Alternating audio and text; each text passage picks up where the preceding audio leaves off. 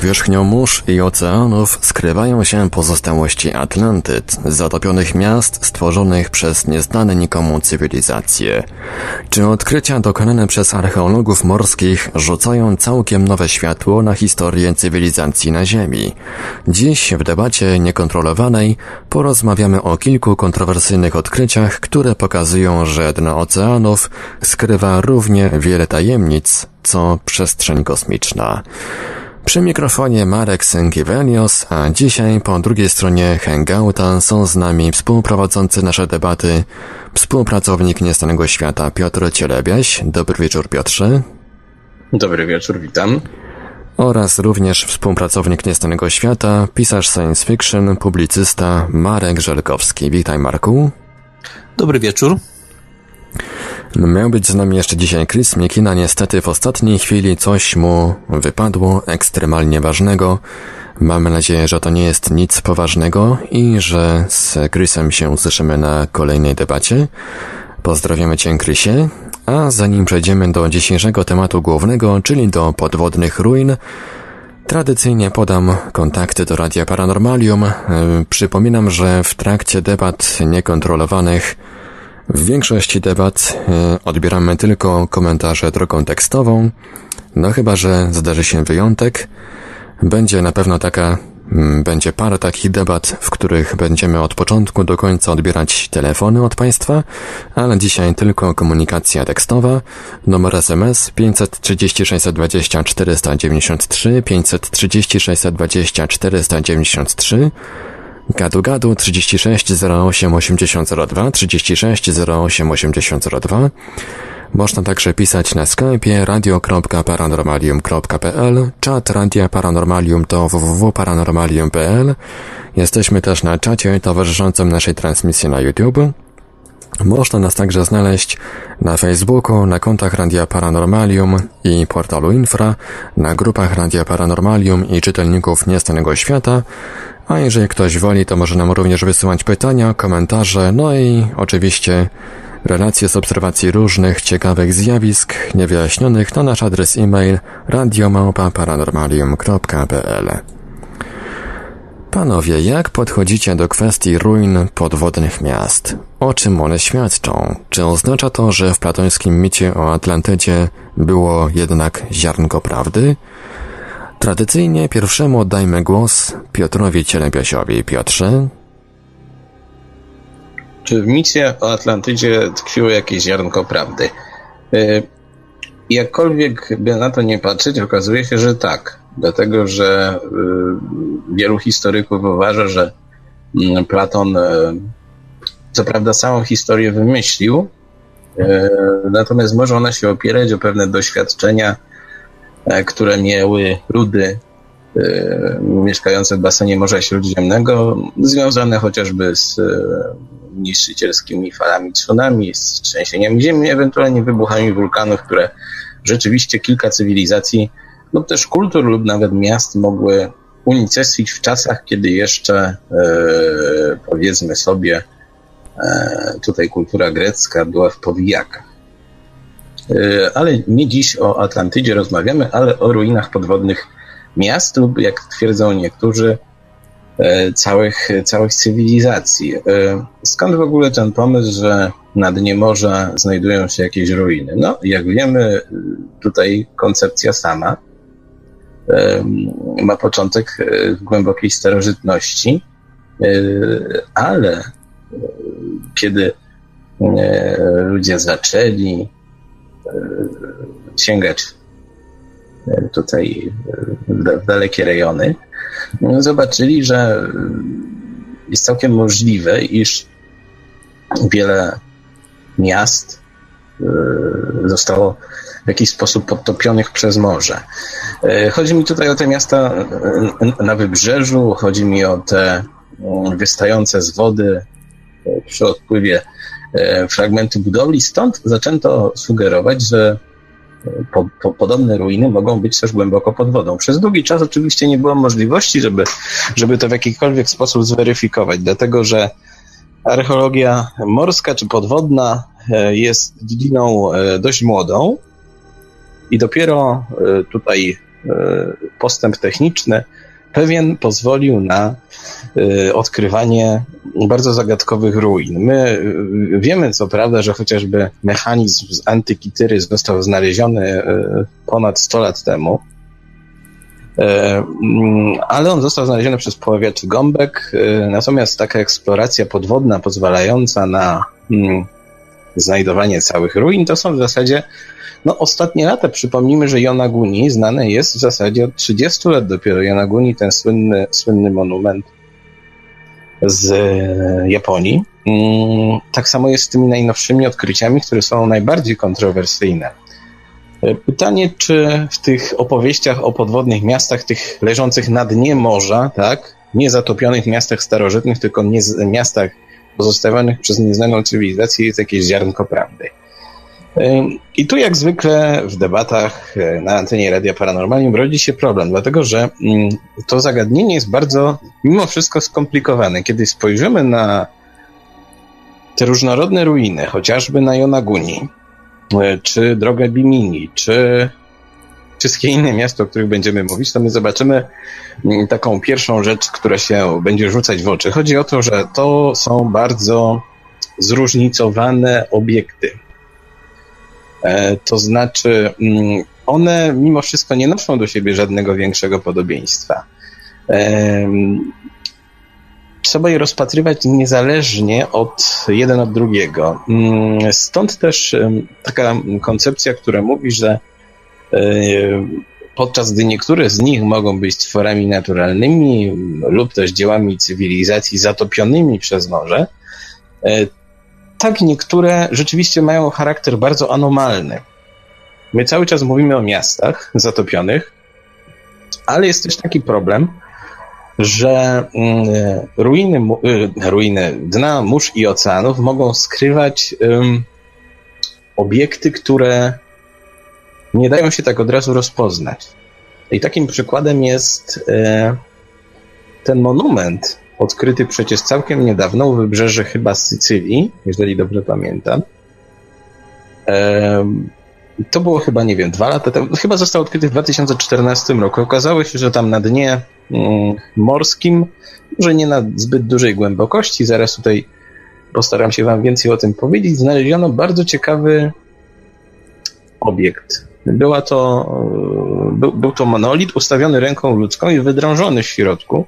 To wskazywało, że y, został tam postawiony w czasach y, może bardzo, nie, nie bardzo prehistorycznych, ale w tym samym okresie, kiedy w Europie kwitła ta, jak to się umownie nazywa, kultura budowniczych megalitów.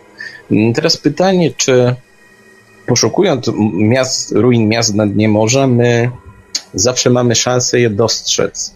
Zawsze mamy szansę je rozpoznać. Pamiętacie Państwo, że e, często publikuje się takie zdjęcia e, przedstawiające ukształtowanie morskiego dna i tam niektórzy doszukują się piramid e, czy budowli różnego rodzaju. My dzisiaj o tym będziemy jeszcze mówić, bo E, okazało się, że w okolicach tutaj u wybrzeży Kuby znaleziono coś, co wygląda po prostu jak potężne miasto zbudowane przez jakieś, jakichś gigantów chyba na dnie morza.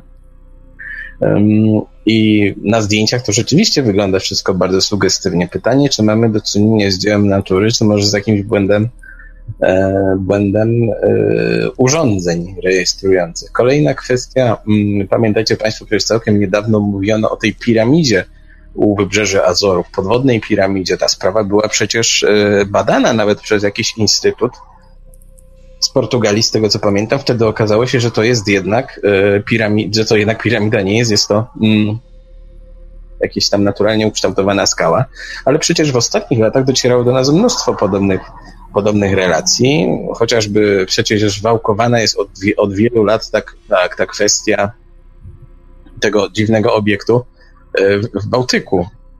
E, jeżeli, jeżeli Państwo pamiętacie, to to możecie sobie zajrzeć do internetu, zobaczycie, że tak zwana anomalia bałtycka wywołuje po prostu e, mnóstwo kontrowersji do tej pory, chociaż sprawa jest w zasadzie rozwiązana. Także dzisiaj będziemy mówić o tym, co może kryć się na dnie mm, mórz i oceanów i czy to zostało wzniesione rzeczywiście ludzką ręką. Marku? No właśnie, bo rozpatrując temat dzisiejszej audycji, warto zdać sobie sprawę, że o ile część budowli, mm, z którymi mamy do czynienia, które są odkrywane na, na, gdzieś na dnie oceanów czy mórz, to, to są budowle, które po prostu stały stosunkowo blisko wybrzeża i zostały w jakimś tam momencie na skutek e, wydarzeń, wydarzeń geologicznych czy, czy jakichkolwiek innych e, zatopio, zatopione. O tyle warto również wziąć pod uwagę, E, jeszcze, jedno, jeszcze jedną możliwość, że gdzieś tam e, w głębinach oceanów funkcjonuje niejako równolegle do naszej cywilizacja, no nazwijmy ją cywilizacją podwodną.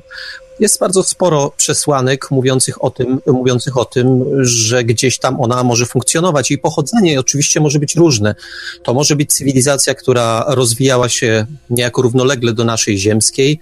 To może być, e, e, to mogą być istoty, które przybyły tutaj na Ziemię i są tu osiedliły się albo są tu e, na zasadzie obserwatorów, e, którzy mm, badają życie na Ziemi. To może być wreszcie e, na przykład mogło się, mogło się odbywać w ten sposób, że ludzie są tak naprawdę wygnańcami, wygnańcami z, gdzieś spod wody. Zostaliśmy niejako wy, wyrzuceni, wyrzuceni z tamtego świata. I tu oczywiście mm, można, można od razu zakpić i powiedzieć, no tak, no ale przecież e, jaki jest sens, żeby podwodna cywilizacja budowała drogę, taką jak mamy, mamy do czynienia e, chociażby, chociażby w jednym z przypadków. I tu rzeczywiście to mm, musimy pamiętać to, o czym powiedział Piotr, że e, te mm, to, co znajdujemy pod, pod, pod, pod wodą, na pewno nie jest y, i nie jest jednorodne. To znaczy, to, to nie może, każdy z tych przypadków należy rozpatrywać osobno. I o ile droga, czy, czy jakieś tam niektóre inne budowle, to rzeczywiście e, raczej są, raczej są twory ludzkie, które, które zostały zatopione. Warto jednak zdać sobie sprawę z tego, że część to są, y, to mogą być y, twory zupełnie innej, odmiennej od naszej cywilizacji. A że coś jest na rzeczy, to, y, to warto wspomnieć o tym, że to, nad czym się dzisiaj zastanawiamy, czyli, czyli gdzieś jakieś dziedzictwo Atlantydy, to nie jest wymysł czy też pomysł taki, taki świeży, bo wbrew pozorom, wbrew pozorom interesowano się tym, e, tym zagadnieniem już bardzo dawno. Zwracam tylko uwagę, że e, Juliusz Verne w swoich e, w swojej powieści 20 tysięcy mil podmorskiej żeglugi już tam pojawia się Atlantyda, już tam pojawiają się głęboko, głęboko pod, pod wodą ruiny. To oczywiście można powiedzieć rzeczywiście, że jest ślad o, owych, owych platońskich zapisków, ale zwróćmy uwagę, że to, że Juliusz Verne nie był, nie był jedyny, nie był jedynym pisarzem, który wspominał e, o podmors podmorskiej cywilizacji o, czy o podmorskich pozostałościach, bo e, również Arthur Conan Doyle taką powieść e, w latach dwudziestych bodajże XX wieku, głębina tu z francuskim ciężko, więc Mark, mm, Maraco, chyba to, chyba to w ten sposób się wymawia. Ona została wydana y, w, no, w Polsce na pewno w latach 80. została wydana, wcześniej być może, być może również. W każdym razie y, autor, y, autor Sherlocka Holmesa mm, tam również rozpatruje, rozpatruje zagadnienie, zagadnienie podmorskiej, podmorskiej cywilizacji, czy podmorskiego, mm, podwodnej cywilizacji, która niejako funkcjonuje równolegle, równolegle do ziemskiej, więc to, to, to jakby na to, warto, na to warto zwrócić uwagę, ale to, to w dalszym ciągu nie jest, nie jest wszystko, bo zwróćmy uwagę, że takim pisarzem, który był przekonany, że gdzieś tam pod, pod wodami funkcjonuje hmm, inna cywilizacja, co więcej, cywilizacja, która jest nam z natury wroga, był e, Howard Lovecraft. E, tych, tych opowiadań, w których, w których ta, ta, ta, mm, ta cywilizacja podmorska, właściwie bardzo, bardzo rozwinięta, która w stosunku do człowieka ma właściwie, właściwie taki wymiar wręcz boski, czy w każdym razie no, może demoniczny. W każdym bądź razie tych opowiadań jest dosyć sporo. Tam się pojawiają nie tylko, nie tylko istoty, które gdzieś tam są jakimiś takimi hybrydami e, humanoidalno, humanoidalno mm, e, które z jednej strony są humanoidami, ale na przykład, ale na przykład mają też cechy, e, cechy ośmior, ośmiornic, czy w każdym razie jakichś, głowono, jakichś gło, innych głowonogów. Nie wiem, nie do końca, nie do końca, nie do końca się na tym znam. W każdym bądź razie e, to, to, to są takie, ale są, e, to są takie istoty, ale również pojawiają się jakieś e, żaboryby, jacyś żaboludzie. Warto też wreszcie powiedzieć o tym, że ten problem i jak poruszał, jakoś interesował klasyka, klasyka mm, science fiction, czyli Herberta George'a Wellsa. Jest takie opowiadanie, mm, które ma, nosi tytuł W otchłani, to jest końcówka, końcówka XIX wieku. Wiem, że ono zostało opublikowane w takim, w takim, w takim tomie, który, który, w którym opublikowane są wszystkie opowiadania, opowiadania Herberta George'a Wellsa, wydanym w latach, może nie wszystkie, ale większość tych, tych ważniejszych, w latach 50, w drugiej połowie lat 50. Czy było później? Tego nie wiem. Natomiast, natomiast jest tam to, to opowiadanie. Ono też jest y, niezwykle, niezwykle mm, intrygujące. Po co to wszystko mówię? Otóż y, y, po to, żeby pokazać, że mm, nie jest nowy, to znaczy nie, nie, nie my go odkryliśmy i on zajmuje, czy też intryguje ludzi od dosyć, dosyć dawna. Pisarze są niejako takim przekaźnikiem tego, że, że coś intrygowało, intrygowało ludzi. A intrygowały, intrygowały ludzi y, znaleziska, które no, oczywiście pod koniec XIX wieku to, co mogliśmy powiedzieć o podmorskich głębinach, no było, było minimalne, właściwie bardzo niewiele mogliśmy powiedzieć. Gdzieś tam kilkadziesiąt lat później y, zaczęły funkcjonować w miarę normalnie łodzie podwodne, czy też okręty podwodne, e, zaczęto penetrować przynajmniej, przynajmniej ten, ten, ten stosunkowo niegłęboką, niegłębokie, e, niegłębokie partie morza. Już wtedy zaczęto, zaczęto odkrywać no, rzeczy intrygujące. I oczywiście e, albo możemy skupić się na tej, na tej kwestii, że to są rzeczywiście, to co powiedziałem na początku, że to są, że to są ruiny ludzkich, jak najbardziej wzniesionych ręką człowieka miast, które miały to nieszczęście, że e, padły ofiarą e, przemian geologicznych naszej planety i po prostu zjechały sobie pod powierzchnię morza. Mm, to mogły być e, skutki również innych kataklizmów, ale zwróćmy, zwróćmy w takim jednak uwagę na to, że, że równie dobrze, to jest równie dopuszczalna hipoteza, że mm, rzeczywiście możemy mieć do czynienia z równoległą, przynajmniej z równoległą cywilizacją do naszej. I to, i to, również, to również powinno być, e, być przedmiotem mm, e, takiej naszej refleksji, zastanowienia, czy czy aby y, nie znajdujemy y, dzięki temu dowodów na to, że taka cywilizacja w ogóle istnieje. Bo y, my mamy taką, taką dosyć ciekawą cechę. Jesteśmy skłonni y, przypuszczać, to, to, to wyczytałem, przyznam się od razu, y, y, całkiem, nie, całkiem niedawno, że my jesteśmy skłonni. Mm, przykład, że w, w, czasie II wojny światowej, przynajmniej niektórzy z nas są skłonni przypuszczać, że w czasie II wojny światowej um, nazistowskie Niemcy, konstruktorzy z nazistowskich Niemiec byli, e, byli w stanie konstruować e, pojazdy, które penetrowały stratosferę, a być może nawet, być może nawet wydostawały się, przekraczały granice kosmosu.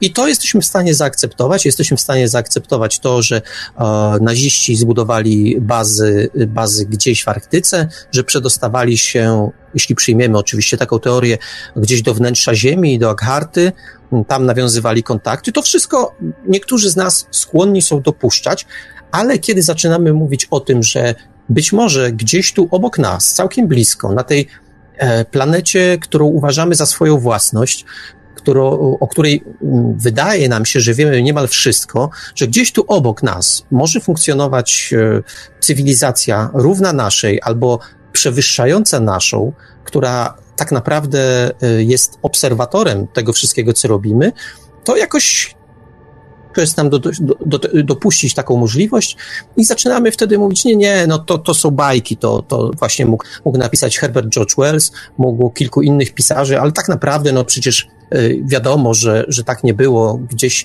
gdzieś e, to wszystko, to wszystko, patrzymy w kosmos, tam są inne cywilizacje, tu obok nas niekoniecznie. A być może te ślady, które znajdujemy, przynajmniej niektóre z tych śladów, które znajdujemy pod powierzchnią, pod powierzchnią oceanów, pod powierzchnią mórz, to być może są ślady e, początków rozwoju, czy jakichś wczesnych etapów rozwoju tej cywilizacji, która rozwija się równolegle do nas, która być może na skutek tego, że zauważyła, że nasz, e, nasza cywilizacja mm, jakby przyspieszyła w rozwoju, przynajmniej w, ostatni, w, ostatnich kilku wiekach, no to wycofała się troszeczkę, troszeczkę głębiej, stała się mniej, e, mniej widoczna ale być może to o tym rozmawiamy, kiedy rozmawiamy o jakichś podwod- obiektach, które wyskakują ni stąd, ni zowąd z wody, e, które, nazy- które, które, już nie są UFO, a może USO. być, może, być może właśnie o tym rozmawiamy. Być może to nie są przybysze z odległych planet, tylko z naszej planety. A skoro tak, skoro zrobimy takie założenie, to równie dobrze to, co znajdujemy pod powierzchnią, e, pod powierzchnią wody, może być śladem naszych ludzkich rąk, ale też rąk zupełnie innych. I tu znowu musielibyśmy rozpatrywać, rozpatrywać jeszcze jedną ważną rzecz, bo ktoś może powiedzieć, no tak, ale e, jak to jest, że, że dlaczego cywilizacja podwodna miała, miała budować takie konstrukcje, jakie, jakie spotykamy pod wodą? Przecież skoro żyje pod wodą, no to powinna wyglądać zupełnie inaczej. Może powinna przypominać ryby, może powinna przypominać jakieś głowonogi, no ale nie człowieka.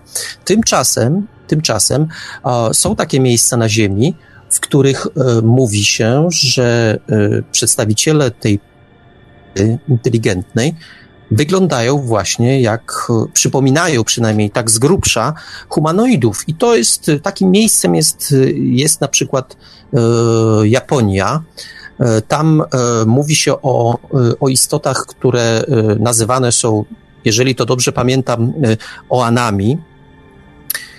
To są podobno istoty obdarzone niezwykłą inteligencją, które bacznie przyglądają się naszym ludzkim sprawom, które od czasu do czasu są obserwowane przez, na przykład przez japońskich, przez japońskich rybaków. E, podobne zdarzenia, jak te, jak te w Japonii, mają, miały podobno, e, miały, miały, mają e, podobno miejsce również w innych, w innych miejscach świata, na przykład gdzieś w pobliżu, w pobliżu Argentyny. To wszystko są rzeczy, których oczywiście, które trudno nam oczywiście zweryfikować, ale myślę, że mm, przy temacie dzisiejszej audycji warto wziąć je wszystkie pod uwagę. Dzięki Marku. E, kiedy mówimy o miastach na dnie morza, to wiążą się z tym też inne zagadnienia.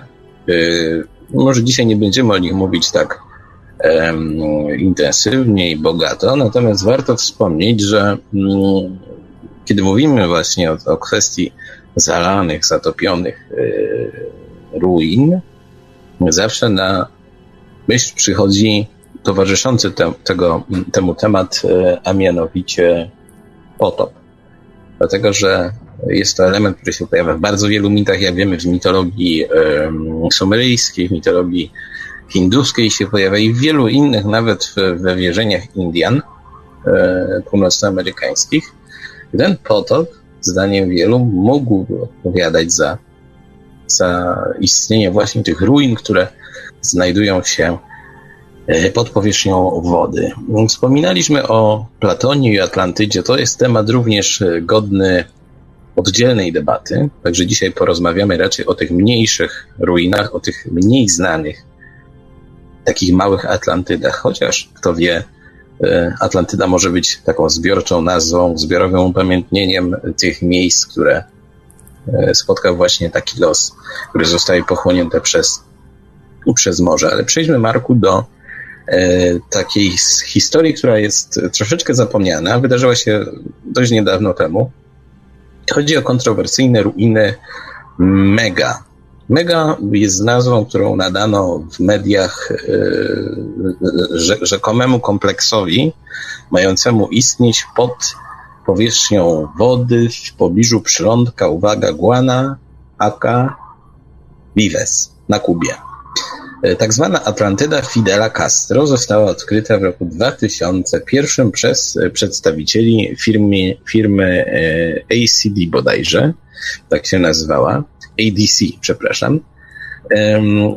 Tutaj ta sprawa na początku budziła wielkie kontrowersje, dostała się nawet do mediów głównego nurtu. BBC pisało na przykład o tym, że owa kanadyjska firma sfilmowała te struktury na głębokości 650 metrów. E, wtedy, w tym okresie, Fidel Castro zaprosił do współpracy kilka firm zagranicznych, które przeszukiwały e, okolice Kuby w poszukiwaniu e, statków hiszpańskich mogących zawierać cenne ładunki przy, przy tej okazji rzekomo natrafili na istnienie tych wielkich kamiennych bloków wyglądających jak cięty granit, tak o tym pisano. E, tutaj badacze z AEDC twierdzili, że te struktury pod powierzchnią morza w okolicach Kuby przypominają cięty granit. Niektórzy twierdzili również, że e, przypominają niektóre z nich e, piramidy egipskie. Co się potem stało z tą sprawą, Marku? Dlaczego o Atlantydzie Fidela zapomniano? Być może dlatego, że leży ona bardzo głęboko pod powierzchnią Ziemi, to jest pod powierzchnią wody, to jest aż 650 metrów. Jak oceniali szanse naukowcy na istnienie miasta położonego tak głęboko na morskim dnie? No to znaczy, głęboko, głęboko albo nie głęboko. To, że ono się znajduje obecnie na tej głębokości, to tylko sprawia, że jest je stosunkowo, stosunkowo trudno badać, bo a, my jesteśmy przyzwyczajeni do tego, przynajmniej tak to wygląda na filmach fabularnych, że a, właściwie płetwonurkowie, czy też, czy też nieco, nieco bardziej masywnie wyposażeni nurkowie mogą właściwie swobodnie schodzić pod wodę. Rzecz nie jest taka prosta. 650 metrów to już jest, to już jest naprawdę, to już jest naprawdę głęboko. E, już nie mówię o, o, o świetle, które, które dosyć słabo jednak, no, no, to taki eufemizm, e, e, słabo jest tym światłem na tej, na tej głębokości. Niemniej jednak to wcale nie musiało być tak, że, że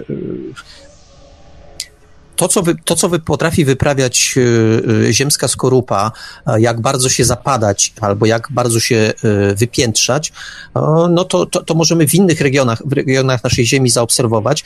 I to powiedzmy te 650 metrów to jest, to jest problem dla współczesnych badaczy, natomiast dla, dla powierzchni naszej planety to jest żaden problem i wyniesienie czegoś albo opuszczenie o taką, o taką, o taką właśnie liczbę metrów nie nie jest, nie jest jakimś ewenementem specjalnym. Ja zwrócę uwagę, że mm, ta nazwa, której, której użyłeś Piotrze, czyli mega, ona jakby wzięła się stąd, e, ruiny, o których mówimy, czy też ślady tego, e, tego czegoś, co jest tam na powie- e, pod powierzchnią wody, to jest, to jest olbrzymi kompleks, którego powierzchnię szacuje się na około 20 kilometrów kwadratowych no to, to, już jest naprawdę, to już jest naprawdę sporo. I jeśli na takiej powierzchni mamy do czynienia z dosyć y, regularnymi, regularnymi kształtami, to albo rzeczywiście coś tam było i coś, y, y, coś zagadkowego, co warto byłoby zbadać, ale coś, co pewno mm, bardzo mocno zburzyłoby, zburzyłoby dotychczasową historię, bo co właściwie, jakaż to cywilizacja e, niezwykle, niezwykle tajemnicza funkcjonowała, funkcjonowała w tamtym akurat, e, czy mogła funkcjonować w tamtym akurat rejonie świata, no której e, nie mamy właściwie pojęcia. Nigdy o takiej tak zaawansowanej cywilizacji, która budowałaby tak potężne, przynajmniej obszarowo, miasta, nie słyszeliśmy. A zatem skąd, skąd, to się to skąd to się wzięło w, tam, w tamtym miejscu. No to jest jedna możliwość, którą, którą warto wziąć pod uwagę, którą, którą warto bardzo poważnie zbadać i rozpatrzeć, ale jest też druga, druga możliwość, że ponieważ e, tak trudno jest dotrzeć, dotrzeć do, mm, do miejsca, w, których te, e, w, który, w którym te pozostałości e, można, mm, których można dotknąć, można ich tam dotknąć, no, skazani jesteśmy przynajmniej częściowo na badanie za pomocą urządzeń, y, które mm, odbijają, odbijają chociażby, chociażby dźwięki, czy, czy, czy jakiekolwiek inne, jakiekolwiek inne wysyłane, wysyłane y, w tamtym kierunku fale. I może mogło być równie dobrze tak, czy, czy przynajmniej częściowo, że po prostu urządzenia techniczne, które, które dokonywały, dokonywały tych badań, miały coś w rodzaju przekłamań albo, albo, albo jakoś mm, interpretacja tych, y, tych wskazań była taka, że widzieliśmy to, co albo chcieliśmy zobaczyć, albo też to, co to, co, to, co pokazywały te urządzenia, ale które, y, to, co pokazywały, było tak naprawdę jednym, jednym wielkim błędem. Tu oczywiście każdy, każdy mm, musi wybrać sobie to, co mu najbardziej pasuje, dopóki, dopóki y, nie uzyskamy nie uzyskamy konkretnych wyników, konkretnych, konkretnych badań e, wykonanych na miejscu, wykonanych niejako, no nie, nie niejako, a wykonanych rzeczywiście e, szkiełkiem i okiem, wykonanych, a a może nawet e, bardziej okiem niż tym szkiełkiem, bo to, to być może jest dosyć ważne. W każdym bądź razie mm, rzecz, rzecz ma się tak, że ta historia mm, czego, ale dosyć szybko y, odpłynęła, y, odpłynęła z głównych stron, czy to BBC, czy też innych mediów, które, które te informacje, y, informacje podawały. No właśnie, i teraz pytanie, dlaczego tak się stało? Bo mm, no to było obiecujące. Są w internecie nawet zdjęcia przedstawiające tam model tego ukształtowania terenu.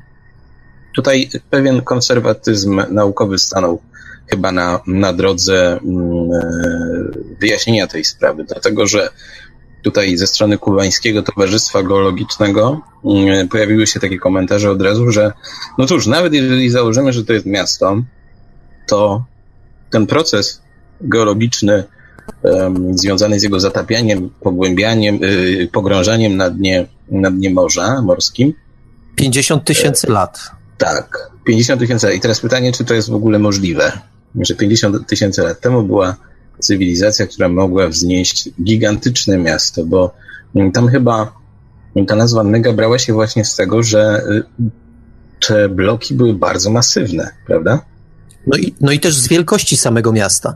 I tutaj zwrócę na, na jedną rzecz uwagę, to jest dosyć, to jest dosyć ciekawe, że e, z jednej strony e, mamy te 50 tysięcy lat, e, czyli od takiego czasu musiałoby się to miasto pogrążać, pogrążać w tych warunkach geologicznych, w tym miejscu, tak, od tak dawna musiałoby się pogrążać. A to zwraca, naszą, zwraca uwagę na jedną bardzo ważną sprawę, która, o której mogliby, można by zrobić i o której już zresztą były audycje, że być może e, jeśli przyjmiemy, że te, te, te, te, to miasto zostało wzniesione ręką ludzką, to być może mm, po prostu, y, o czym bardzo często się mówi, nie jesteśmy pierwszą cywilizacją na Ziemi, która była wysoko, za, która jest wysoko zaawansowana, że przed nami były inne. I stąd bierze się te 50 tysięcy lat i według, według tego, co, o, czym, o czym mówi współczesna wiedza oficjalna, Coś takiego jest po prostu niemożliwe. Nie było żadnej cywilizacji na tyle zaawansowanej 50 tysięcy lat temu. E, oficjalna historiografia nie ma nic na ten temat do powiedzenia. Po prostu są to, e, są to absolutne, jak to się takie ulubione słówko polityków, ostatnio kocopały, których, których, e, których nie ma co w ogóle rozpatrywać poważnie. Ale jeśli przyjmiemy, że była, była przed naszą cywilizacją, była inna, jedna, druga, może więcej ich było, to, to wówczas stawia to całą, całą budowlę, cały, cały ten kompleks w zupełnie innym świetle. Podobnie jak przyjęcie drugiej z teorii, które, które zaproponowałem, czyli że być może te ruiny to jest twór e, cywilizacji, która, która żyje, żyje pod wodą, która też coś tam sobie budowała i 50 tysięcy lat to, to powiedzmy jest ten, e, ten, ta otchłań czasu, czy też ta odległość czasowa, o jaką, e, o jaką tamta cywilizacja wyprzedza naszą cywilizację. Czyli właściwie, mówiąc szczerze, tak według mojej wiedzy, e, takie dwie cywilizacje, tak oddalone od siebie, właściwie nie mogą się już porozumieć. Jest marna szansa na to, że cywilizacja tak zaawansowana, y, która gdzieś tam y, swoje pierwociny miała właśnie 50 tysięcy lat temu, żeby mogła się dogadać z cywilizacją, którą my reprezentujemy. Tamta cywilizacja może nas ewentualnie obserwować, może przyglądać się nam jako pewnej ciekawostce, może dyskretnie ingerować w nasz rozwój, ale na pewno, dobrze, wycofuję słowo na pewno, ale raczej nie będzie zainteresowana, zainteresowana kontaktem, bo kontakt, no a cóż ona by takiego na tym kontakcie zyskała? Znacznie więcej zyskuje obserwując nas, bo dajem pewnej ciekawostki, przy takim założeniu przynajmniej, że, że ta cywilizacja o tyle nas wyprzedza. To jeśli chodzi, to jeśli chodzi o możliwości, które, które, które, które można rozpatrywać w przypadku, w przypadku tej lokalizacji tego miejsca. Dziękuję. Jeżeli chodzi o ruiny Mega, e, to sprawą zainteresował się też odkrywca wraku Titanica, dr Ballard, który stwierdził, ciekawe, że z wydaniem opinii w tej sprawie należy się wstrzymać do czasu sprawdzenia e, albo do czasu uzyskania mm, większej ilości informacji. Niestety do naszych, do, do dzisiejszych czasów, a minęło już ponad 15 lat. No o tej sprawie nie wiemy praktycznie nic. I pytanie, co stanęło na drodze? Czy pieniądze, czy ten naukowy konserwatyzm? Przekonanie, że skoro nie jest możliwe, że mm, kilkadziesiąt tysięcy lat temu ktoś stworzył miasto, które zostało zalane, no to nie ma co tych pieniędzy wydawać. E, a archeologia mm, e, morska jest dziedziną naprawdę kosztowną i drogą. Mm, e, przynajmniej była, tak, jak, była tak, ta, taką dziedziną jakiś czas temu. Są też obszary, które, gdzie, gdzie prace mm, nie mogą być wykonywane przez cały rok, a jedynie w pewnych określonych e, miesiącach ze względu na złą pogodę. No, oczywiście to nie tyczy się tych regionów, e, e, o których mówimy. Mm, co, co, co jeszcze warto powiedzieć o tej, o tej sprawie? No, intrygujący jest fakt, że Całkiem niedaleko leży przecież kolejna e, struktura, kojarząca się bardzo z, z dziełem rąk ludzkich, a chodzi o drogę Gmini. W przeciwieństwie do Mega jest ona widoczna z powierzchni wody, dlatego że leży znacznie płyce i leży na głębokości jakieś chyba 6 metrów. W okolicach archipelagu Bimini, to jest na Bahamach. Chris pewnie tam był. E, no cóż, droga Bimini. Wygląda jak wielka litera J z dwoma sąsiednimi podobnymi e, strukturami znacznie mniejszymi. Ona jest dość duża, dość długa. Mm, przypomina takie gigantyczne kocie łby e, ułożone na dnie morza. Pytanie, czy to ruina budowli, czy to droga? Dla niektórych to y, skojarzenie z Borukiem było, to jest tak oczywiste, że, mm, że twierdzą, że jest to droga pozostawiona przez jakąś cywilizację gigantów, bo to te, te, te bloki kamienne są ogromne. One mierzą po kilka metrów, kilka metrów y, długości boku, prawda? Czasami. E, czy może, jak mówi inna hipoteza, jest to jakaś ruina budowli pogrzebanej w Y, y, głęboko w morskim dnie, która tylko wystaje w postaci tych, tych elementów. Warto dodać jednak, że ten obszar y, związany jest z wieloma innymi legendami. Droga Bimini swego czasu była mm, przedmiotem no, ogromnych kontrowersji naukowych, nie oszukujmy się. Ale pojawiły się też informacje na temat mm, struktur, które mają leżeć gdzieś niedaleko jej, i są jeszcze bardziej interesujące. Margu, e, co sądzisz o tej tajemniczej drodze Bimini Kocich Łbach na Bahamach? Zanim o kocich łbach i bimini, to jeszcze na chwileczkę, na chwileczkę tylko y, do, do tej struktury mega. Mnie zawsze, y, szukam słowa, rozczulają argumenty, y, argumenty tych wszystkich mm, badaczy, którzy mówią, że nie ma na to pieniędzy, żeby coś takiego, żeby coś takiego mm, badać. To jest 600, przypomnę, 650 metrów pod powierzchnią morza i jednocześnie zestawmy to y, z poszukiwaniami Titanica i z głębokością, na jakiej Titanic leży.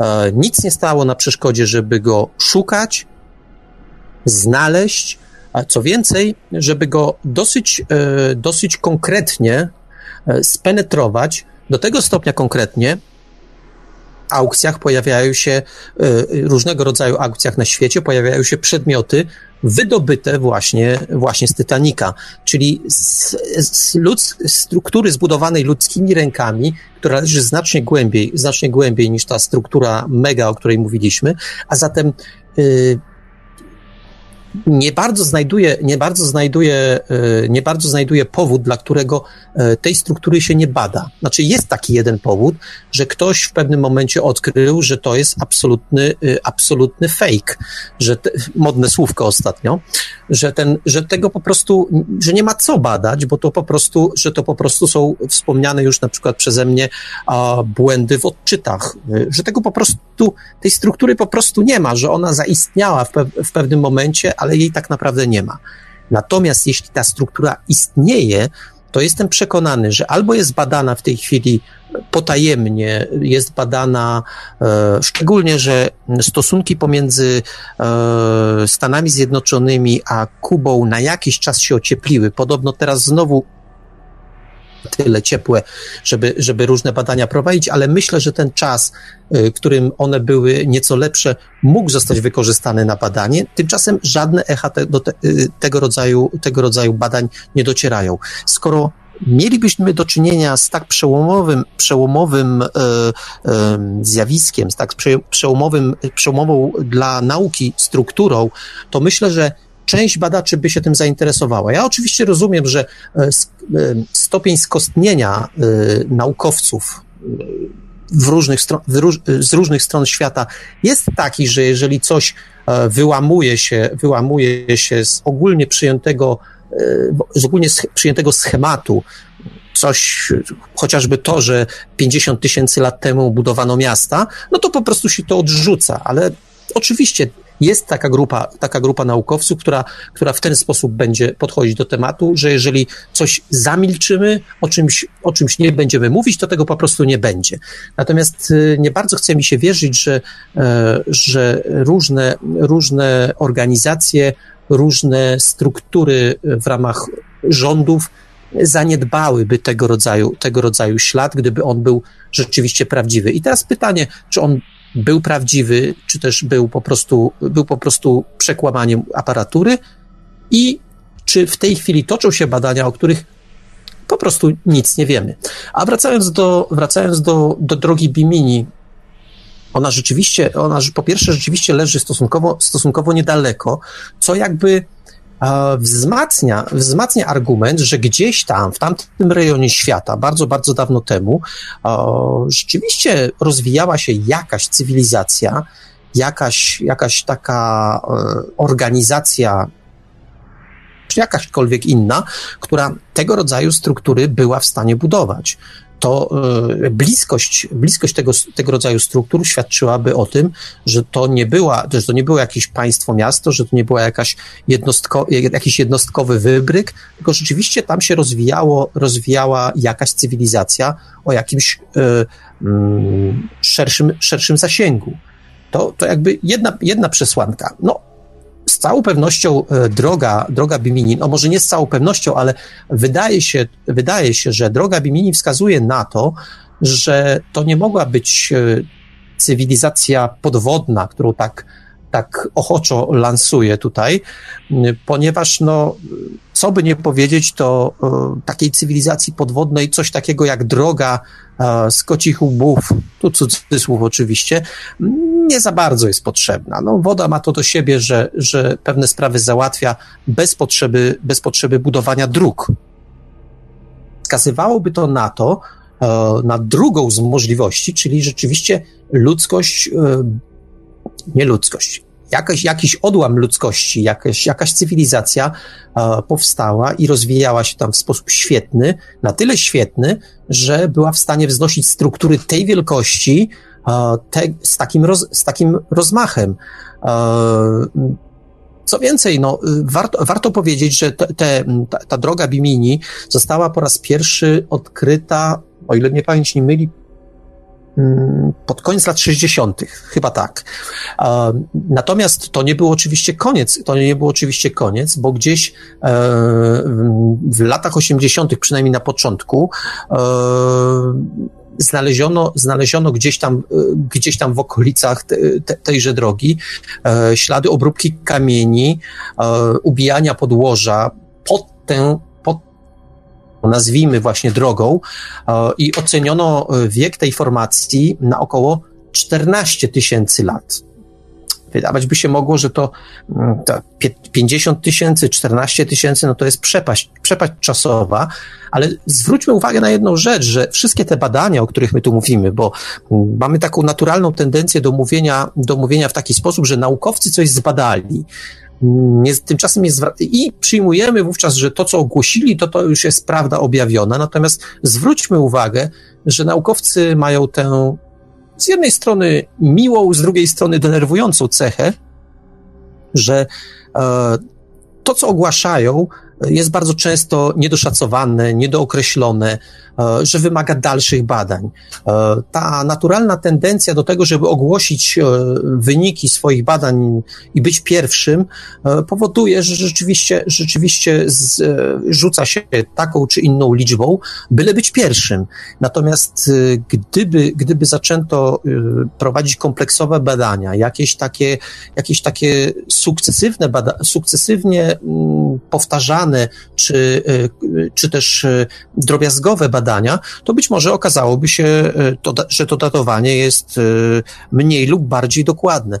Zwróćmy w ogóle uwagę, że wszelkie badania, o których mówimy w przypadku tak starych struktur, mają to do siebie, że mm, bardzo ciężko jest, bardzo ciężko jest rzeczywiście je datować, bo tu nawet no w przypadku takich struktur kamiennych, jak, jak droga, no, metoda węgla C14 po prostu nie funkcjonuje. No, to, to, to nie działa. Tak, dlatego, dlatego też e, naukowcy, którzy zajmowali się drogą Bimini, a było ich sporo, e, szukali w jej pobliżu e, śladów działalności człowieka i byli to doktorzy John A. Gifford oraz dr Malon M. Ball. No niestety, ich zdaniem nie ma tutaj mowy o tym, żeby droga Bimini była tworem człowieka, ich zdaniem. Pamiętajmy, że to jest skała. Przede wszystkim tutaj tylko analiza geologiczna może nam powiedzieć, jak dawno ta skała powstała. Natomiast skoro nie mamy żadnych odniesień do tego, kiedy tam żyli jej potencjalni twórcy, no jesteśmy w dużej kropce. Dlatego, że, mm, e, dlatego, że droga Bimini y, stanowi tak jakby jeden z elementów y, może nie powszechnych, ale charakterystycznych dla tego regionu. To znaczy, zbudowana jest z takiej skały osadowej, która e, bardzo często występuje na Bahamach. E, no i jest dość, dość miękka, tak? Ulega łatwej, łatwym pęknięciom. I tutaj jest taka hipoteza, która mówi, że właśnie droga Bimini to po prostu taki 800-metrowy popękany kawałek skały. No popękany w taki sposób, że wygląda jak bruk. Rzeczywiście, kiedy patrzymy na zdjęcia, e, drogi, to mm, no, trzeba powiedzieć Marku, że to robi wrażenie, prawda? Szczególnie, szczególnie z takiej z takiej większej odległości. No, kiedy przyjrzymy się jej z bliska, okazuje się, że ona może już tak nie do końca wygląda jak droga, bo mm, te szczeliny między, między y, skałami są wielkie. No, jeżeli to by była droga, to chyba dla bardzo, bardzo wielkich nóg.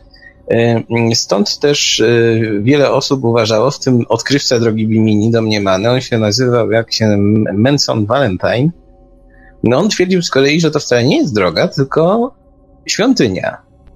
I, i kurna część. Kurna część tak. tej. I dopiero chyba w latach 70. w to miejsce dotarł słynny Jacques Cousteau, No i wtedy ta legenda drogi Bimini jako cudu świata, jako dowodu na istnienie zaawansowanej cywilizacji zaczęła się stopniowo kurczyć, bo okazało się, że nie jest to wcale coś tak ogromnego. Nie jest też wcale coś, to coś tak bardzo chyba jednak tajemniczego. Ja tutaj nie chcę wychodzić na sceptyka mówiącego, a to na pewno jest y, na 100% y, dziwny kamień tylko. E, ale wydaje mi się, że mm, tutaj nauka znajduje się w pewnej kropce. To znaczy, y, nie ma żadnych dróg manewru i szczerze mówiąc nie widzę tych dróg manewru dalszych. Plusem natomiast dla, dla całej sytuacji, dla całej, całego, powiedzmy, całej struktury jest to, że on rzeczywiście leży dość płytko pod powierzchnią wody i może być oglądany, można tam nurkować i stąd chyba jego wielka popularność. No, w przypadku ruin Mega nie każdy chyba sobie może pozwolić na batystka, w którego tam y, czy łódź pod wodą, która go zabierze te kilkaset metrów w głąb. Mm, także chyba dlatego Mega umarło taką śmiercią naturalną. No ale nie, nie, żeby tutaj nie przechylać szali na stronę sceptyków, to musimy powiedzieć, że były osoby, które y, twierdziły, że mm, no, coś jednak jest w tej teorii, która mówi, że to, jedno, to jest budowla, prawda? No tak, dopatrywano się tam przecież, ale tu, tu, trudno już to zweryfikować. Dopatrywano się tam także poza, poza tym, co nazywamy, nazywamy drogą, a co później określano, że może jest e, grzebieniem, koroną, koroną jakichś murów, e, jakiejś świątyni, czy, czy, czy w ogóle jakiejś struktury, struktury e, znacznie głębszej, a mówiono także o innych, o innych strukturach odkrytych w, odkrytych y, w pobliżu, o jakichś, e, kolumna, jakichś kolumnach y, były, były doniesienia, były donieś, tego, doniesienia tego rodzaju, ale tak naprawdę mm, to jak zwykle, no może nie jak zwykle, ale bardzo często się zdarza w tego rodzaju doniesieniach, to są jednostkowe, jednostkowe doniesienia, niepotwierdzone przez, przez kolejne źródła. I to jest moim zdaniem dosyć charakterystyczne. Pewno dzisiaj nie raz o tym będziemy jeszcze mówili, że e, wszelkiego rodzaju dziwne struktury, które są znajdowane, taką, e, to oczywiście mówię, mówię to z przekąsem, ale mają jakąś taką tajemniczą, dziwaczną cechę, e, że najpierw jest wybuch czegoś, o, coś odkryliśmy, a potem robi się o tym cicho. I to nieraz funkcjonowało właśnie w ten sposób, że coś się odkrywa, e, a później jest o tym, o tym cicho, bo nagle się okazuje, że jak się wchodzi w temat, zaczyna się zgłębiać e, pewne, pewne elementy tego tematu, pewne elementy e, związane z daną budowlą, to ona na tyle mocno burzy obraz świata wyznawany, tak, użyję tego słowa, wyznawany, a nie a, przez naukowców, że, e, że po prostu robi się o tym cicho. Co więcej, bo to Piotrze, to co powiedziałeś, e, ta struktura e, tej drogi, Bimini, ona jest na ty, leży na tyle płytko, że właściwie nic nie, stało, nie stałoby na przeszkodzie, żeby to informacje o tym rozpowszechniać, żeby badania wykonać na wręcz masową skalę, na taką no, masową źle, e, na dużą skalę, na taką bardzo, zaawansow- bardzo zaawansowane badania e, przeprowadzić. Tymczasem się ich nie przeprowadza. I to jest, to jest jeszcze pytanie, bo można oczywiście powiedzieć, no tak, no, nie bada się tego, bo nie ma co badać, no, nie będziemy, nie będziemy, nie będziemy e, badać czegoś, czego, czego po prostu nie ma, nie ma żadnej drogi, więc nie będzie, nie ma nic do badania. Ale rozumiem, że powiedzmy to jest, to jest struktura, której badać nie warto, ale y, to się okazuje y, pewną, pewną metodą działania, że właściwie co, co i róż się okazuje, że jakiejś struktury nie warto badać. Nie warto badać struktur e, w pobliżu, w pobliżu Japonii, nie warto, nie warto badać struktur e, znajdowanych pod, pod wodą w pobliżu e, wybrzeży Indii. W ogóle nic nie warto badać, bo a nuż się stanie tak, że trzeba będzie przepisywać historię na nowo. Ja mam takie wrażenie, że to troszeczkę tak fun zaczyna funkcjonować, przynajmniej wśród niektórych naukowców. No, niestety masz rację, dlatego że mm, w ostatnim czasie powiedzmy w ciągu ostatnich 15 lat doszło do takich ogromnych przewartościowań na polu antropologii, historii pochodzenia człowieka, Neandertalczyków, naszej wiedzy o nich e, oraz e, tutaj powiedziałbym archeologii związanej z kulturami żyjącymi kilka tysięcy, kilkanaście tysięcy lat temu, że w zasadzie książki w większości są nieaktualne. E, te, z których ja się na przykład uczyłem. I, I tutaj leży cały problem. No, my nagle okazuje się, że w Europie mieliśmy potencjalną Atlantydę, wielką Atlantydę w postaci mm, tak zwanego Doggerlandu w Wielkiej Brytanii. Wiemy, że tam żyli ludzie, wiemy, że, że to była kiedyś część Europy bardzo duża, leżąca na, na, na wschód od, od Wielkiej Brytanii, między Wielką Brytanią a Skandynawią. Ta wyspa zatonęła. Wiemy, że istniał E, istniała tak zwana oaza zatokowa, prawdopodobnie pierwotny Sumer. To znaczy, pierwotny Sumer, no to była część, z której mógł wyrosnąć Sumer, czyli, czyli e, taka, tak, taki obszar na północy Zatoki Perskiej, który został zalany wodami, który, który mógł dać e, tutaj asumpt do historii o biblijnym raju. E, także takich miejsc, które były, a których już nie ma, rzeczywiście było mnóstwo, ale problem w tym, że mówiąc o miastach nad nie możemy, idziemy o no, spory krok dalej. To tak jakby nagle okazało się, że ktoś znajduje Göbekli Tepe pod wodą e, i z całymi towarzyszącymi temu konsekwencjami, ale o ile Göbekli Tepe zmienia, prawda, nam archeologię w sposób znaczący i przesuwa taki umowny termin narodzin cywilizacji o kilka tysięcy lat, Chociaż oczywiście cywilizacja to jest termin, który każdy rozumie inaczej. Tak odkrycie takiej struktury podwodnej no byłoby totalną bombą, bo e, tutaj po prostu nie trzeba było eksperta, by stwierdzić, że skoro coś tak starego jest zalane e, przez wodę i co trwa, takie zatapianie trwa przecież nie trwa 100 lat, tylko trwa tysiące czasem, no to cała historia musi być jednak napisana e, niedokładnie. Są białe plamy, które należy wyjaśnić. Um, gdyby to miało, e, gdyby takie odkrycie ruin podmors podmorskich, takich ruin podmorskich, które, które budzą e, kontrowersje, działo się raz, dwa, trzy, to może nie byłoby problemu, ale takich punktów kontrowersyjnych jest mnóstwo, jak się za chwilę dowiemy. Mm, tutaj powiedziałem jeszcze przed chwilą o tym, że istnieją podwodne ruiny e, kategorii e, cacy i kategorii B.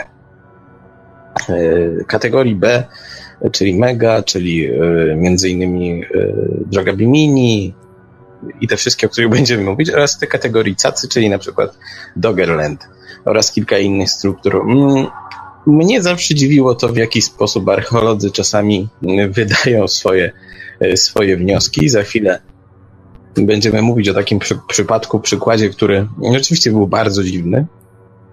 Ale zostańmy jeszcze na chwilę przy tej drodze Bimini, bo okazuje się, Marku, że ona swego czasu wywoływała no, po prostu y, gorące emocje. To, była chyba, to był taki naziemny odpowiednik, podwodny odpowiednik drogi y, twarzy na Marsie. E, pisano o tym mnóstwo, e, rodziły się kontrowersje, dziś w dużej już mierze zapomniane, ale mm, była też z tym związana taka historia, o której w ogóle zapomniano, a która mówiła o tym, że e, w okolicach Bimini, tej wyspy Bimini Północne dokładnie, mają leżeć, ma leżeć całe miasto tak naprawdę zatopione. E, I tutaj był taki facet, który się nazywał, zaraz wam powiem, jakby zapomniałem, nazywał się dr Ray Brown. I on w latach 70., e, nurkując z przyjaciółmi, miał do takiego miasta przypadkowo trafić. On twierdził, że ono po prostu wyglądało jakby dopiero co zostało opuszczone. E, no i znalazł tam piramidę w tym, w tym mieście. Nie wszedł do, do większości budynków, natomiast znalazł piramidę i chyba z tej piramidy wyniósł taką szklaną kulę. I ta kula była takim złotym gralem wśród ez ezoteryków, e, świętym gralem wśród ezoteryków e, amerykańskich, była czymś porównywa porównywanym ze słynnymi czaszkami majów kryształowymi, e, dowodem na to, że taka cywilizacja u, u, u wybrzeży Bahamów miała istnieć. Mm. problem w tym, że ta historia doktora Raya Browna jest. E, o ile w Ameryce, oczywiście, gdzie wszystko można przepchnąć w przestrzeni internetowej, jest popularna, tak naprawdę budzi ona mnóstwo wątpliwości, bo Brown oczywiście nie dostarczył żadnych dowodów na, e, na swoje słowa. Nigdy oczywiście nie odnaleziono takiego miejsca.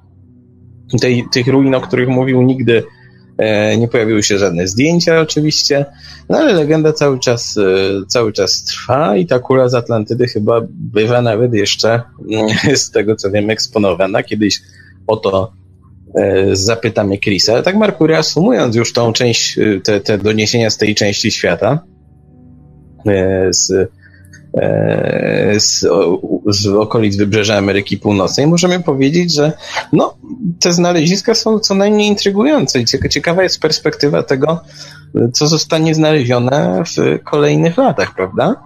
Bo no, nie, musimy jeszcze pamiętać o jednej rzeczy, która zawsze, zawsze mm, jest poruszana, kiedy mówi się o takich znaleziskach podwodnych E, na Atlantyku lub e, w, w przyległych regionach, że przecież Platon pisał, że Atlantyda leżała właśnie za słupami Heraklesa, chociaż nigdy nie podał dokładnie odległości. To prawda. E, ja jednak chciałbym o innej jeszcze rzeczy powiedzieć, która, która dla mnie jest trudno powiedzieć dowodem, ale taką poszlaką, że jeśli, jeśli dotykamy tematu podwodnych cywilizacji, czy też e, w ogóle ruin, które znajdujemy gdzieś na dnie oceanu, to dotykamy czegoś, co, e, co jest dziwne. Bo e, bardzo wiele osób mówi o tym, że mm, na początku lat 70. E, lataliśmy na Księżyc. Oczywiście część, część osób kwestionuje lądowanie na Księżycu, ale załóżmy, że lataliśmy na Księżyc. Technologia mm, rozwijała się na tyle szybko, że można było powiedzieć, że właściwie podbój kosmosu to jest kwestia naprawdę niewielu, niewielu, niewielu lat, że zaczniemy, zaczniemy opanowywać układ słoneczny. E, tymczasem, e, w momencie, kiedy skończyły się wyprawy na Księżyc, od tego czasu minęło, za chwilę będzie pół wieku. To, e, to świadczy o tym, że coś się zatrzymało. Ale mało kto zwraca uwagę na to, że jeśli chodzi o badania podmorskie, mamy do czynienia z czymś bardzo podobnym. Z takim zatrzymaniem, zupełnie nienaturalnym zatrzymaniem się E, rozwoju czy też postępu. Otóż e, warto zdać sobie sprawę, e, że o ile Amerykanie i Rosjanie zajmowali się kosmosem, to takim krajem, który zajmował się głębinami, to oczywiście nie, jedy, nie jedynym krajem, ale powiedzmy przodowała. To za sprawą Jacques'a Cousteau, który, który no, był takim liderem, liderem, człowiekiem, który, który bardzo to promował. I warto zdać sobie sprawę. Marku, przepraszam, że... bo tutaj jakiś był problem z połączeniem. Na... Urwało chyba nazwę kraju, to była Francja, tak? Tak, Francja, czyli i, i dalej wymieniłem Jacques'a Cousteau, e, który, który bardzo, bardzo promował, e, promował e, badania podmorskie. Warto sobie zdać sprawę, że mm, już pod koniec lat 60. na, na głębokości 100 metrów załoga wyselekcjonowana przeżyła 22 dni. W tamtym czasie e, nie latano na tak, na tak długi okres w kosmos, a pod wodą dawało się. Dalej e, podobne, podobnego rodzaju badania prowadzono gdzieś właściwie do połowy lat 70 coraz to nowe pod, y, podmorskie konstrukcje powstawały, y, mm, coraz dłużej tam, coraz dłużej tam przebywano, aż w pewnym momencie podobnie jak z kosmosem, rzecz się urwała. To znaczy, oczywiście, no, gdzieś tam jeszcze po drodze, znaczy wcześniej e, badano, no, nie, czy, nie zadziwia, czy nie zadziwia nas to, że e, osiągnięto rekord e, zejścia w głębiny i później właściwie przez długi, długi, długi czas tego rekordu nie powtórzono. ostatnimi czasy rzecz, rzecz się powtórzyła, przynajmniej częściowo, ale tak, właśnie, tak naprawdę no cóż, przestało nas tam ciągnąć, a właściwie dlaczego nas tam przestało ciągnąć? My, mm, to nie jest wcale przesada, że my o, y, o naszej, o, o głębinach y, oceanicznych wiemy znacznie mniej niż o najbliższym kosmosie. A jednak przestaliśmy prowadzić tego, bada- tego rodzaju badania, przestaliśmy y, penetrować ten obszar. Chociaż teoretycznie jest on e, e, łatwiejszy, do, łatwiejszy do zbadania niż, niż kosmos, łatwiejszy to wcale nie oznacza, że łatwy. E, wręcz przeciwnie. E, warunki, z którymi się tam musimy, z którymi się tam musimy zmierzyć, są rzeczywiście ekstremalne. Ale Równie dobrze możemy przyjąć taką hipotezę, ja tutaj gdzieś, gdzieś tam zawsze bokiem, bokiem, ale prowadzę, prowadzę jednak do zastanowienia się nad tym, że być może, tak jak to przez analogię, tak jak być może y, możemy przyjąć, że dostaliśmy zakaz przed, penetracją, y, przed penetracją kosmosu, to nas nie dziwi, że y, jeśli ktoś wysuwa te teorię, mówi nie, nie, nie możecie dalej y, eksplorować kosmosu, macie zakaz, nie wolno wam latać na Księżyc, nie wolno wam wielu innych rzeczy, ponieważ jesteście taką cywilizacją, którą my obserwujemy. Tego rodzaju, tego rodzaju twierdzenia E, są przynajmniej przez niektóre osoby dopuszczane. Natomiast e, równie dobrze można przyjąć, że ktoś tak samo do, do, do kosmosu zakazał nam penetrowania, penetrowania głębin. Nie ma tam dla nas miejsca po prostu. I to, co możemy zobaczyć, to, co możemy spenetrować, to są to właściwie strefy przybrzeżne, czy też strefy dosyć płytko leżące. Natomiast gdzieś tam głębiej właściwie nie wolno nam zaglądać.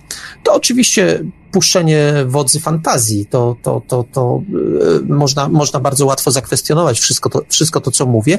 Niemniej pewne, pewne fakty, chociażby te dotyczące, dotyczące przerwania badań, zawieszenia ich, yy, właściwie dzisiaj mm, trudno powiedzieć o jakiejś, jakiejś wzmożonej penetracji, penetracji głębin morskich.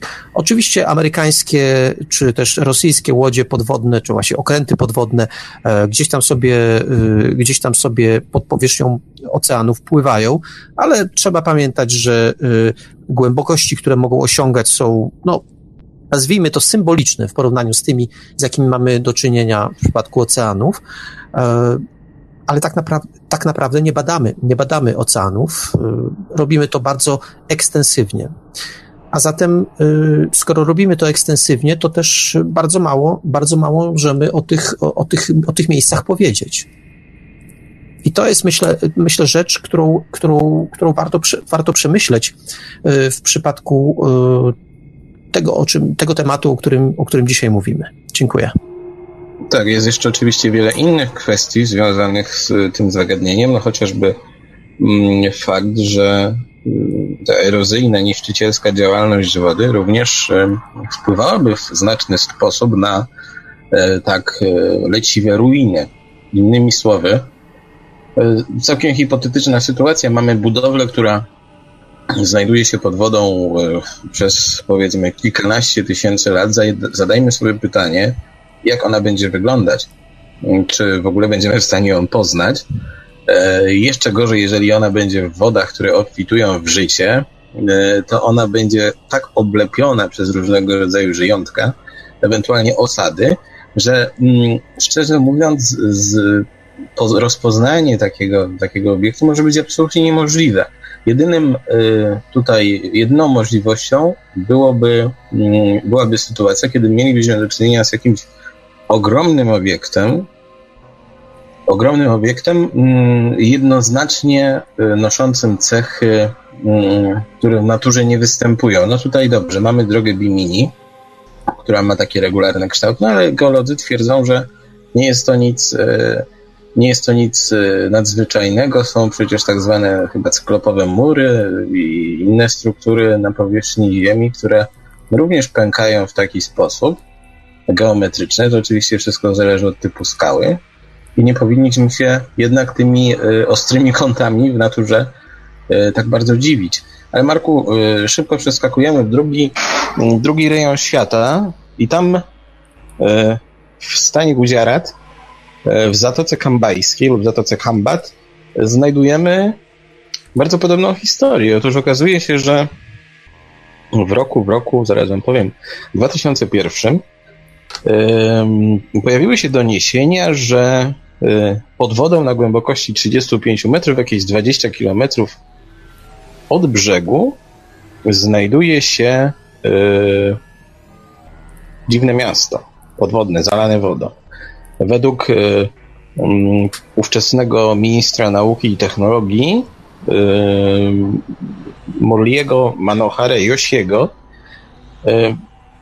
to miasto liczyło sobie 9,5 e, tysiąca lat. Pochodziło, miało powstać 7,5 tysiąca lat przed, przed Chrystusem. E, historia taka jak z Mega, czyli e, rząd budynków wielkich, masywnych, dających się łatwo rozpoznać na zdjęciach sonarowych. Nawet tutaj w przypadku tych ruin w Zatoce Kambajskiej twierdzono, że zlokalizowano dokładnie punkty charakterystyczne dla, dla takiego e, miasta starożytnego, znaczy starożytnego, głęboko starożytnego, e, w postaci jakiejś tam cytadeli, jakiegoś dążonu, mm, czy, czy nawet e, slerza.